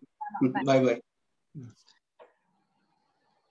Let's come back to our debate. Dr. Sami, do you have something to say? I have a question actually from one of the audience, and I'll try to translate it to Dr. Idris. The question says the speaker, meaning Dr. Idris, mentioned that the West does not want states in the Middle East to have autonomous popular sovereignty, but a form of popular sovereignty that is imperfect and dependent. However, why does the speaker believe that democracy will provide Algeria real popular sovereignty when even under a democratic regime, international relations, uh, international relations requires that all states participating in the world state system, democratic or otherwise, is subject to foreign intervention, capital inflows, outflows, migration treaties, international economic standards, and so on which necessitate, necessitate a form of compromised sovereignty in any case. From a realist perspective, without power, how will democracy help to protect Algeria from foreign intervention؟ يعني يقول انك ذكرت ان الغرب لا يريد لدول الشرق الاوسط ان تكون دول ذات السياده. لماذا تظن ان الديمقراطيه ستعيد السياده ولا تخضعها للتدخل الخارجي خصوصا في عدم وجود قوه حقيقيه للبلد وهذا الغرب يمكن يتدخل بتدخل مباشر أو غير مباشر من خلال أساليب كثيرة بما فيها الاستثمارات، المؤسسة الدولية، المعاهدات، الهجرة، التسليح إلى آخره. لماذا تظن أن الجزائر اليوم عندها سيادة حقيقية يمكن لها أن تمارسها في حين أن الديمقراطية أيضا في في وجود الديمقراطية يمكن أن يكون هذه السيادة أيضا سيادة منقوصة. ماذا تقول في ذلك؟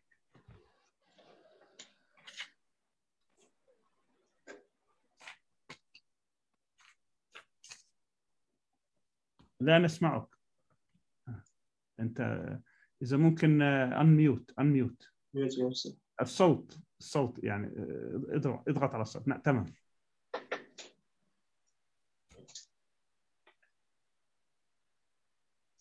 لا ما زلنا لا نسمع. ما زال هناك مشكلة في الصوت دكتور إدريس. We still can't hear. هل تسمعوني؟ نعم. آه جيد الآن. جيد. تفضل دكتور. نعم.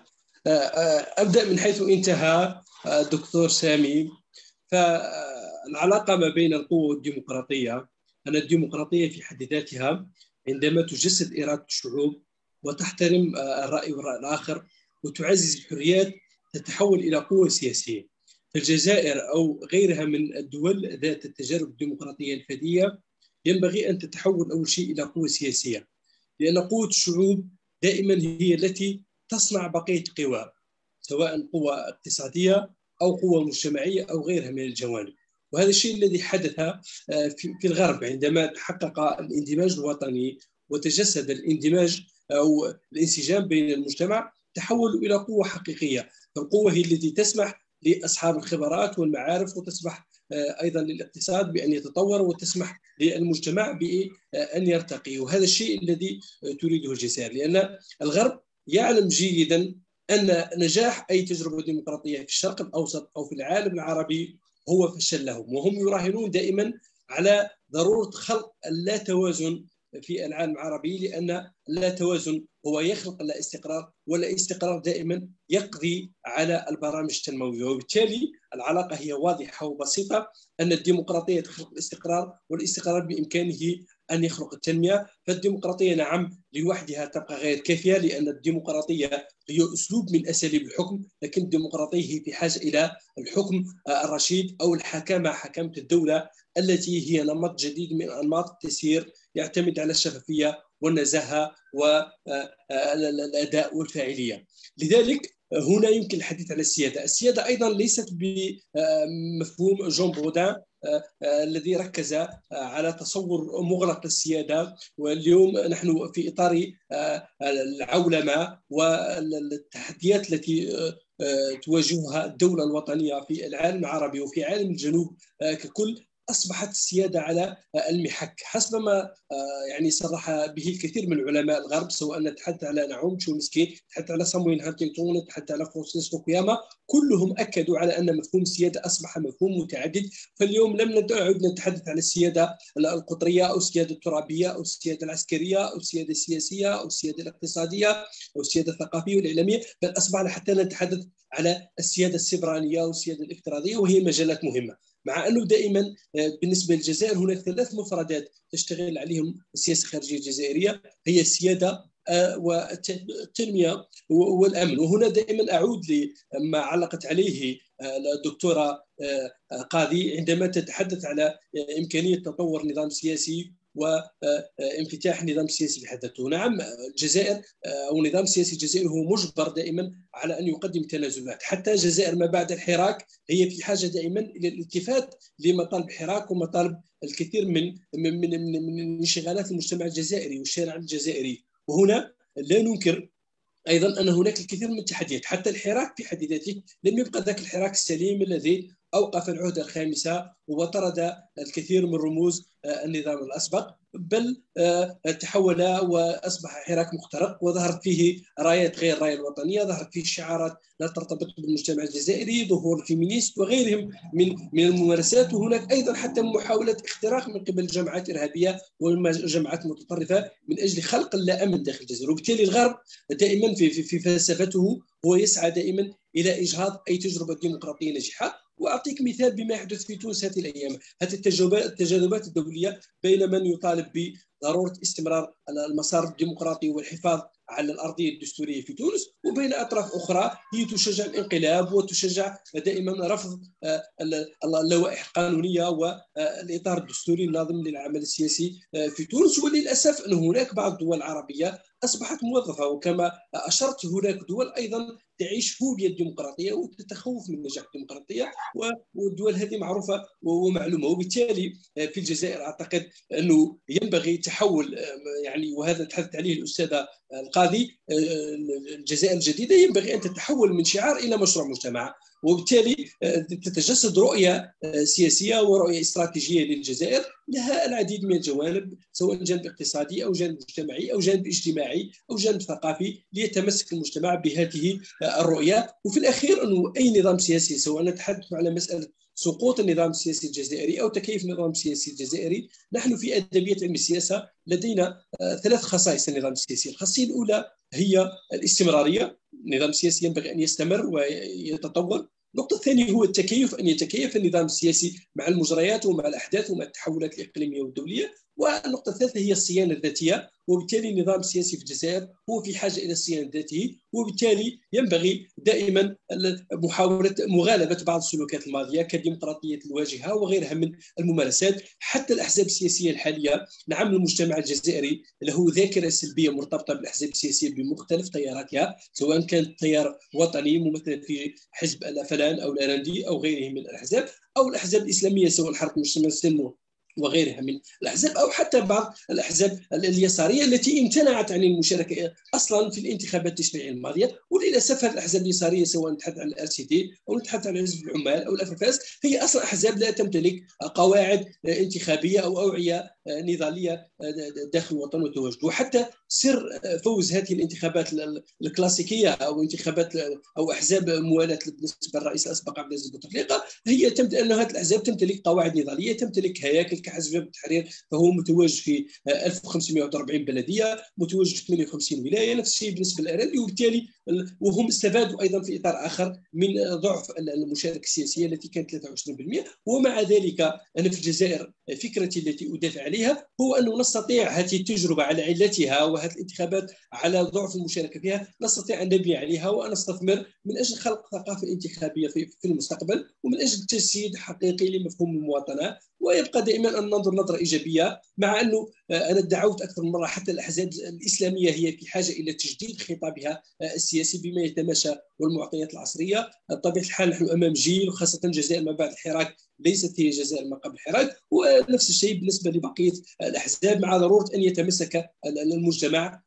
بمشروع مكافحة الفساد وينبغي أن ربما نتجسس أو نتمسك بمشترك وطني واحد يتمثل في العدالة يتمثل في الشفافية والنزاهة يتمثل في في مكانة الجزائر الدولية وفي قدرتها الدبلوماسية في إدارة الكثير من القضايا. هذه الأشياء هي المهمة ينبغي أن نتمسك بها. وبالتالي أعود في الأخير لأنه الغرب يرفض نجاح الديمقراطية في هذه الدول ويبحث دائما على الفاسدين والمفسدين وأكبر فاسدين في الجزائر هم مرتبطين بمستعمرنا السابق في فرنسا وحتى الأحزاب المرتبطة بفرنسا هي أحزاب فاسدة وغيرها من الشخصيات وبالتالي إنه خلاص من المستعمر السابق يعني العودة أو عودة مقدرات الجزائر وأنتم تعلمون ان الثروات الطبيعية في الجزائر هي كثيرة بترول وغاز ومعادن وغيرها حتى الشمس أصبحت طاقة حتى الإنسان الجزائري أرى أنه في حد ذاته وهو طاقة هو وقود حيوي هو مادة خام للجزائر وبالتالي أنه الجزائر كما كانت الفكرة التي أطرحها مكة للثوار وقبل الأحرار بإمكانه اليوم أن تعود بقوة لتكون ربما منارة ديمقراطية ونجد إلى جانب المفردات والمفاهيم المستخدمه في السياسة الخارجية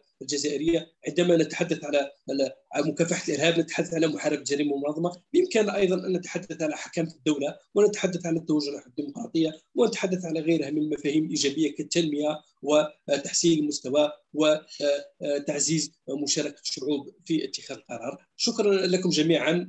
كل باسمه ومقامه تحياتي الخاصة لكل فرد منكم وأنا أستفدت كثيرا من مداخلاتكم.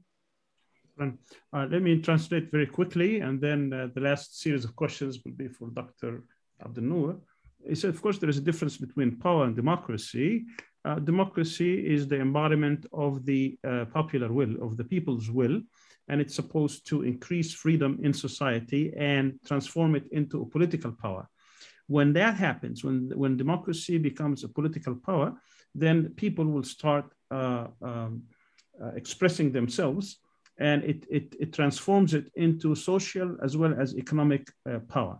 And of course, this is the meaning of democracy that we see, you know, in the civil in civil society when uh, that political power, because of democracy, it starts affecting and impacting society and makes it develop and progress as in any other uh, successful democratic experiment. but of course, what what the West is trying to do is to create imbalance is to uh, prevent democracy from taking hold in society so that these societies will never be stable and they will never be able to progress and transform this political power into other kinds of power, including economic. Democracy is just a, uh, a, a, a, method of, of governing uh, that's supposed to embody and to have and to include transparency, fairness, uh, uh, good uh, governance, effectiveness, sovereignty. But sovereignty is not a closed uh, uh, concept. Uh, with the emergence of globalization, all these uh, challenges that are taking place today have put the concept of the nation state system under scrutiny.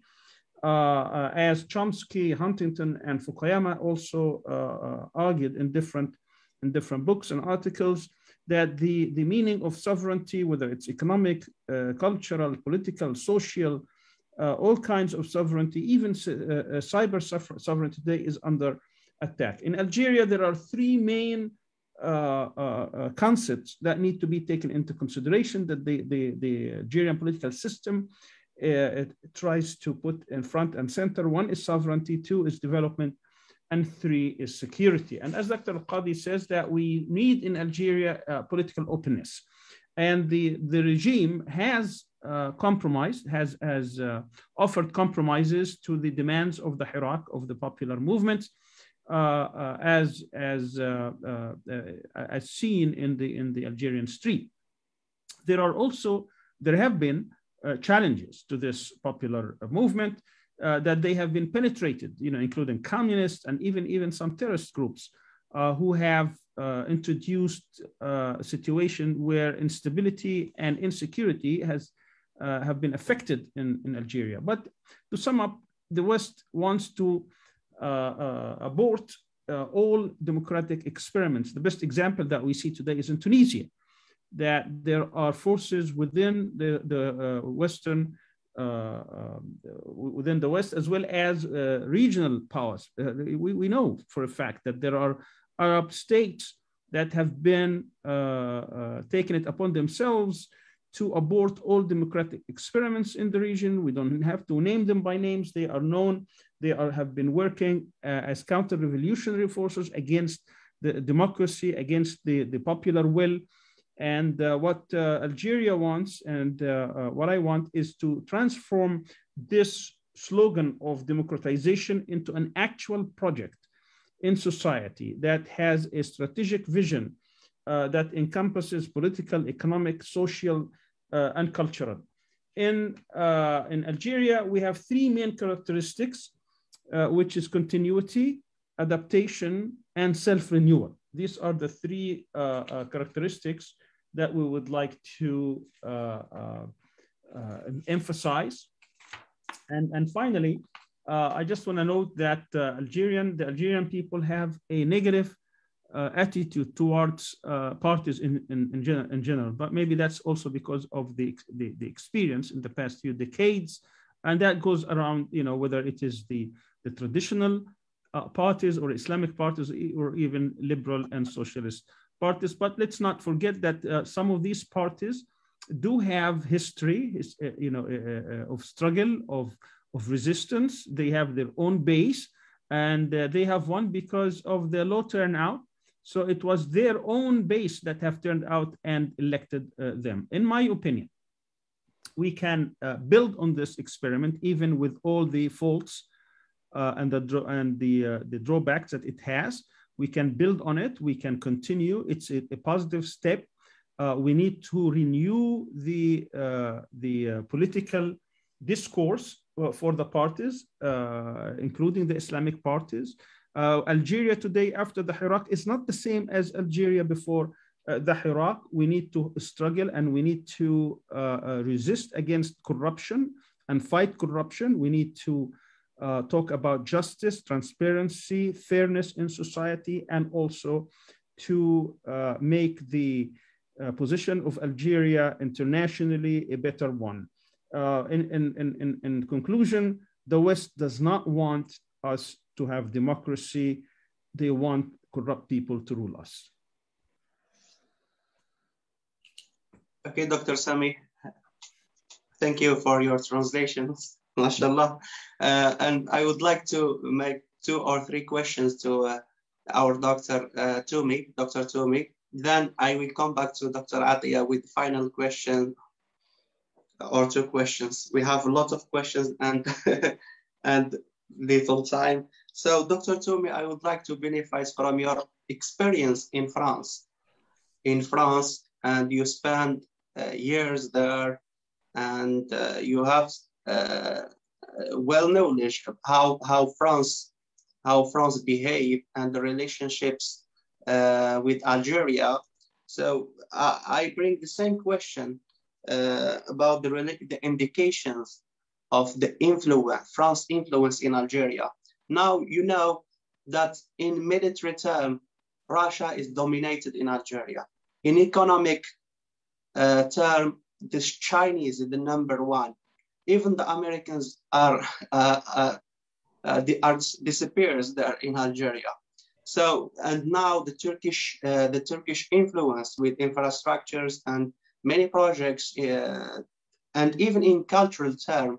So, and many people now around the Arabic world or or in, or outside, they they uh, repeat the same narrative.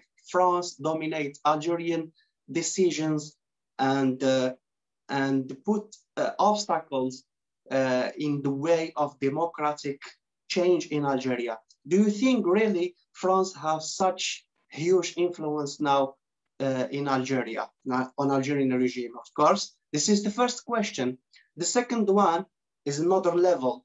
And you mentioned very crucial uh, terms, uh, the political, uh, the cultural, uh, the political culture in Algeria and the elite, the role of elites in Algeria. Uh, do you think now the people, Algerian people have such like uh, enough democratic cultural, political cultural to, to understand the game uh, and to play well with this, with such regime, strong regime. Do you think that the Algerians has such, you know, democratic culture? And the third one is regarding the political, the, the political elites. And you mentioned in your presentation the lack of such uh, political uh, leaders. And you mentioned names like uh, Mehri and uh, and others. Uh, and now we have the, the, the, we have the empty arena, political arena in Algeria. But do you think now, now I, I see, I see uh, only one huge political party, organized party. This is my, I don't know if you uh, agree or not, but I need your comment. Harakat Hems now, the, the biggest Islamic movement in Algeria now, uh, have such organized mind, organized uh, party, such strong leader, and with leader uh, have uh, huge experience since the 90s or before.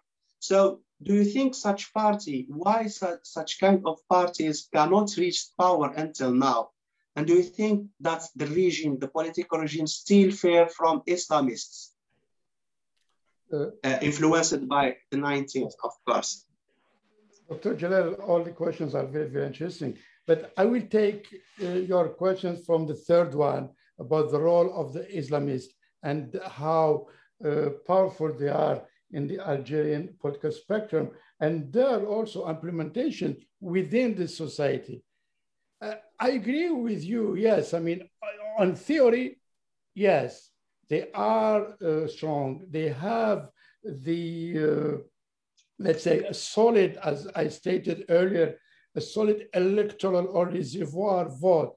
However, the you mentioned uh, Hams. Uh, Hams got trapped, I would say, uh, indirectly into the strategy of the regime. And when he is speaking about the post FIS, uh, by when the uh, generals made the coup against President Chadli Bendjedid in 92 and aborted the democratic process that started at that time. So the uh, MSP, for instance, they get again, trapped by themselves by following the strategy of that was set by the regime back then. However, this mis tactical mistake and then unfortunately it turned out to be strategic mistake because it's been going on for almost a quarter, 25 years now, they lost their credibility. they lost actually the discourse and they lost in the course of the trajectory of the political process that was set at that time by President Bouteflika. So, however, as you stated or you said, like the, it is or the only party that you can see is well organized with solid grassroots and a political uh, program and so on. But the problem is about the leader. And if you don't have a leader, you cannot deliver. And we saw that. I mean, you will ask, I mean, one can argue about the ex FIS, how the FIS delivered in 1991 during the municipal local elections and then in the parliamentary elections, because they have, at that time, the party had a leader. Now, whether this leader had a solid strategy in the long run, that's another story. But at that moment, he had the leader and the message and the base. The masses all go to all at that time go together. These days, unfortunately, they are divided. I mean, and we saw that within the Hams party, we saw this day or the last, say, five years, there are some like defections from the party. We see the Bengrina, we saw the experience of uh, and so on. So it's too early today to say that the Islamists are coming or are like restructuring themselves.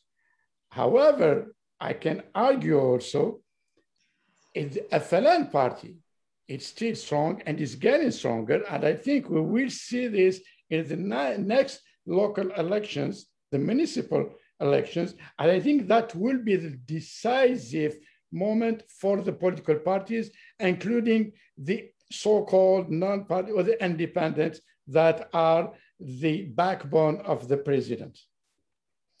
For your second question about the role of the elite, is it about the role of the elite in the... About political culture.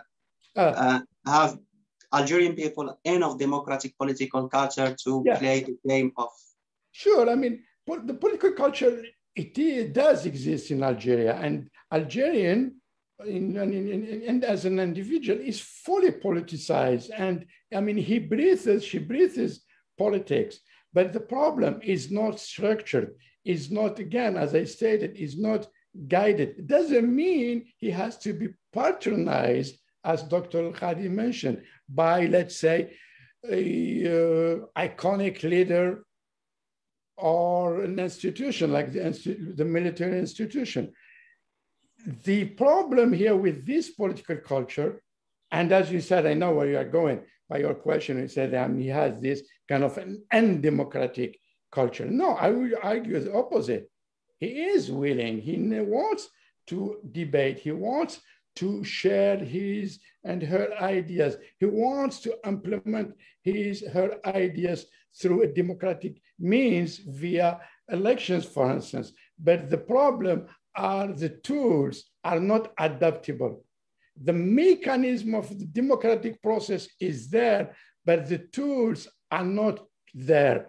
Why? Because I think it meant purposely to not have these solid tools to uh, implement this project or this message for a new generation that can lead this new generation who we don't know. I mean, they, they came out of the black box. The problem in Algeria, like in Egypt or in other uh, authoritarian uh, regimes, the, even the elite or the political establishment want or they want to come from their, uh, their schools of thought. So this is an interesting question here. You see this generation who came out the, the first democratic process of the 90s who are now in their 50s, in their 40s, late, I mean, even someone who was born in 90, he is 30 today. But and who, who belong or who joined the this mentality, unfortunately, they still think like the school of the 60s and the 70s. And we saw that in their crisis management and also to some extent those people are today ruling the country. either in high level or as subalterns. So this is the problem. The problem it's not about the idea of whether they are undemocratic or they don't want to have, let's say, a idea of expecting the other's thoughts or uh, political uh, orientations. The problem is they think they hold the truth. And this is the problem of the elite. And when we speak about the elite, it goes in both ways the Arabophone one and the Francophone one. And the, the words here, the, these two elites are hijacking the entire democratic process by letting the people or the masses to divorce themselves from the from politics. And this is the message that has been sent at every or at, at each elections. But as i told you i may say okay why my vote doesn't count. Why should i vote or why should i bother? This is the answer as far as your first question about the role of France in Algeria's politics. Indeed, in Algeria, it's the usual suspects. It's, of course, France. And this is about history, about our tragic history and the geographic proximity with France. But as you know, Algeria, uh, French Algerian relations, are, they are not normal. They never been normal. And the one who defined them, it's not me, it's President Boumediene. And later on, Bouteflika, who said there is no such normative relations with France. There is something exceptional between the two countries. Let's put it in this way. It's like they are in this hate and love story. But this is because of history, the tragic history, and the geographic proximity. Now, the role, let's say, of France is huge, as you said. I think we are a little bit over exaggerating on this. However, it is, there is, a, again, huge French, uh, France's uh, lobbies inside uh, the country.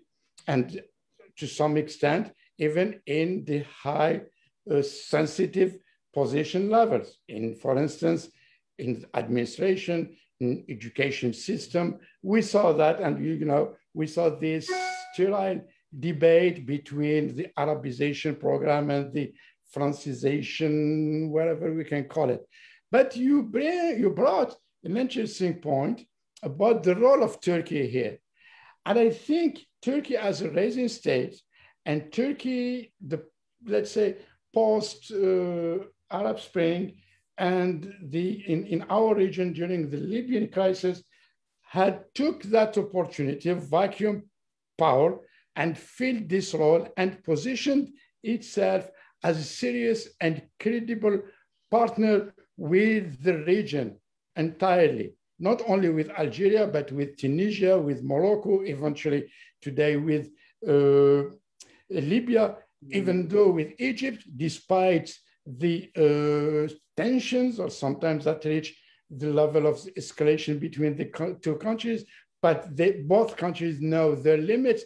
So Turkey today is uh, positioned itself to fill that gap that first of all has left, or the gap was left by uh, the pivotal state in the region like Algeria and Egypt, if, if we speak about the Libyan crisis, and also the uh, mistake, just maybe like to, give me like two minutes. Yeah, because and, we, we don't have enough time. So I, just quickly conclude, please. I see. So and then, so but, but the mistake that President Macron had made in his Libya policy. So Turkey today has a good image, not only in Algeria, but also in the entire region. And it's very interesting. I will sum up with this. Uh, Dr. Atiyam spoke or mentioned the Algeria will be seen as a model in the future. Sure, why not? But I think we Algerians today, if we are looking for a model, we should look at Turkish model in its experience with the democratic process. It seems like it's working in Turkey, and I think with many reasons, societal, sociological, and even traditional cultural elements uh, go towards that uh, direction to look at uh, seriously at the Turkish model. And thank Uh, you. enough, it's enough clear. Uh, thank you, Dr. Toumi. I think uh, we need another uh, panel to discuss such geopolitical issues in North Africa.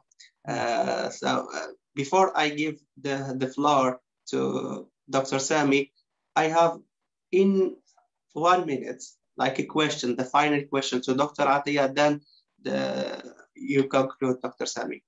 Uh, Dr. Atia, so uh, just a quick question in, and I need quick answers too, please. So many analysts uh, uh, argue that President Tebboune is the weakest president in Algerian history since the independence, the weakest one, and uh, was used by some generals by uh, by Al-Qaid, uh, by Al-Qaid Rabbi Rahmo, and uh, now by another generals uh, just to make change, enough change to this system uh, to make it strong again after it, after was weakened by Bouteflika's era. And you know, Bouteflika gathered all the power and uh, marginalized the, uh, the army from politics. What do you think about that? أعتقد أنه الراحل القيد صالح رحمه الله خلق نموذج جديد في إطار العلاقات المدنية العسكرية في الجزائر من خلال دائما تعهده بعدم إراقة قطر الدم والحراك الجزائري قلت إنه مبهر واجددها دائما هو حراك مبهر لأنه حراك تجاوز 20 مليون نسمة في بدايته وفي أغلب مدنه ولم نشهد ولا إراقة قطر الدم واحدة ولا عنف ولا تعنيف ولا كسر للأشجار ولا تلبية للبيئة بل كان حراك يؤكد على تحول كبير في سلوك المجتمع الجزائري وفي نضج مهم جدا.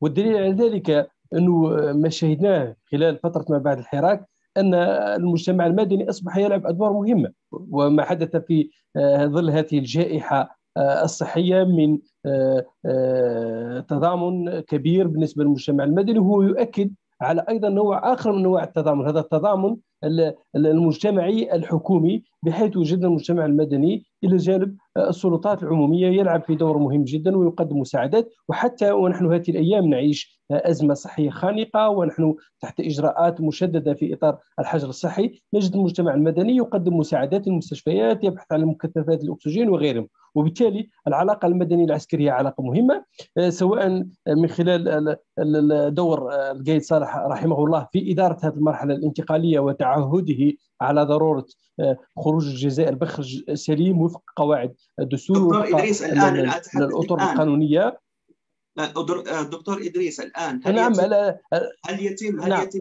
استغلال رئيس تبون الآن من طرف جنرالات آخرين من أجل اعاده إعادة تنظيم الجيش لنفسه أن يكون هو مركز دائما مركز سياسة في الجزائر بعد عقود من تهميشه من طرف بوتفليقه والله السيد عبد الجليل تبون في في حواره مع قناة الجزيرة وفي حواره مع كثير من وسائل الإعلام قال أنه القائد الأعلى للقوات المسلحة وأنا وزير الدفاع. وبالتالي المؤسسة العسكرية الجزائرية هي تتجه إلى الاحترافيه والعصرنه ونسعى لتطوير الجيش خاصة في المجالات الجديدة للدفاع سواء المجال السبراني أو نتحدث حتى على استكمال وتعزيز القوة العسكرية في المجال البحري وفي المجال الفضائي وفي المجال الجوي. وبالتالي هي مجالات خمسه مهمة بالنسبة لنا في الجزائر المجال البري البحري الجوي الفضائي والمجال السبراني. والمؤسسة العسكرية هي مؤسسة دستورية مثل مثل بقية المؤسسات كالبرلمان أو مؤسسة الرئاسة أو السلطات التنفيذية أو الوزارات أو غيرها من المؤسسات. وبالتالي أنه ذاك التضخيم القديم بأن الجيش هو مركز السلطة ومركز صناعة القرار. أعتقد أنه الجيش يتجه إلى وظيفته الأساسية هي الدفاع عن الوطن والذود عن الوطن. واليوم في إطار هذه العلاقات المدنية العسكرية الجديدة نجد الجيش يساعد المجتمع سواء جراء أزمة الصحة الخاصة بكورونا سواء في الكوارث الكبرى والأحداث المتعلقة بالفيضانات وغيرها. نجد دائما المؤسسة العسكرية تقدم مساعدات. وفي مجالات أخرى وبالتالي أنا بودي أن أؤكد على أنه ينبغي الاستثمار في هذه العلاقة المدنية العسكرية مع أنه الأبواق الخارجية التي تقول انه الجيش هو مركز السلطة في الجزائر أعتقد هذا هذا أمر غير منطقي. الكثير من الدول يعتقدوا أنه الجيش متواجد في كل مكان في الجزائر وأنا بل بالعكس اليوم حتى المؤسسه العسكريه لها علاقات مع مع مع النخب العلمية ومع ومع الفاعلين السياسيين وهي علاقات إيجابية.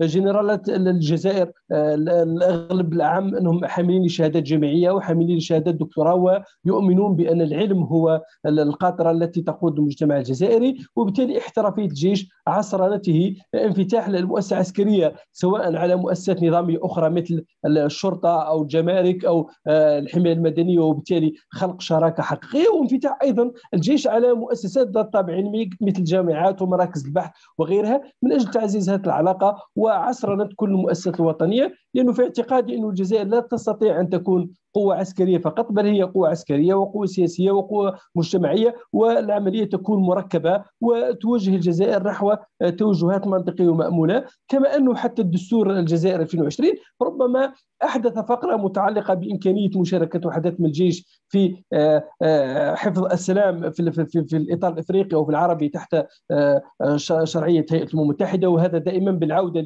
لاستشارة البرلمان كونه يمثل الإرادة الشعبية. هي نقطة مهمة وبالتالي ربما إعطاء دور خارجي للجيش الجزائري. ومع ذلك إنه العلاقة المدنية العسكرية علاقة مهمة جدا. كما أشرت إنه الجيش الحامي للمسار الدستوري سنة 2019 كان له الدور البارز ولولا المؤسسة العسكرية لكانت الجزائر في مهب الريح. وربما دعاة المراحل الانتقالية ودعاة المجالس الانتقالية لذهبوا إلى رأب التجربه الديمقراطية. الديمقراطية ولا حدث بمثل ما حدث في التسعينيات لأنه ربط العملية ببعضها البعض ربما أعود لها وتحدث عن العشرية السوداء لأنه للأسف الجزائر تم غسل ثياب الرثة في الجزائر وكان من دفع ثمنه هم الجزائريين لوحدهم وهذا في سبيل تجربة ديمقراطية. ونقطه أخيرة اسمحوا لي أنه حتى لا يمكن ربط ما حدث في الجزائر أو أحداث الجزائر 2019 بأحداث الربيع العربي أو مسمي بالربيع العربي فالتجربتين مختلفتين بل انه الجزائر كانت سباقة سنة 1989 واليوم من خلال 1919 الجزائر تخلق نموذج جديد سواء في الحراك أو في يعني هذا الحراك أنا في اعتقادي أنه نسميه حراك وإنما هو في الأساس تواضع نسميه. في الأساس هي ثورة ديمقراطية بمثل ما يشير لها دائما لاري دايموند. تؤكد على أن المجتمع الجزائري يتمسك بالديمقراطية ويريد نجاح سياسي حقيقي والمؤسسة العسكرية تبقى كمؤسسة دستورية ترافق هذا العمل السياسي وترافق هذه التوجهات لكن لا تتدخل في العمل السياسي ولا تصنع القرار السياسي اطلاقا.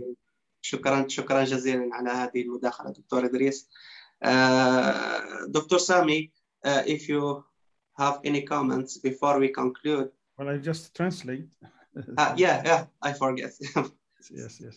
Well he said that uh, let me see yes he said that the previous, uh, after your question, the answer was is the previous chief of staff, Qaid Saleh, he created a new model of the uh, civil military relations in Algeria. The Hirak, the popular movement, was certainly a, a tremendous asset, uh, which included over 20 million people taking participating in it.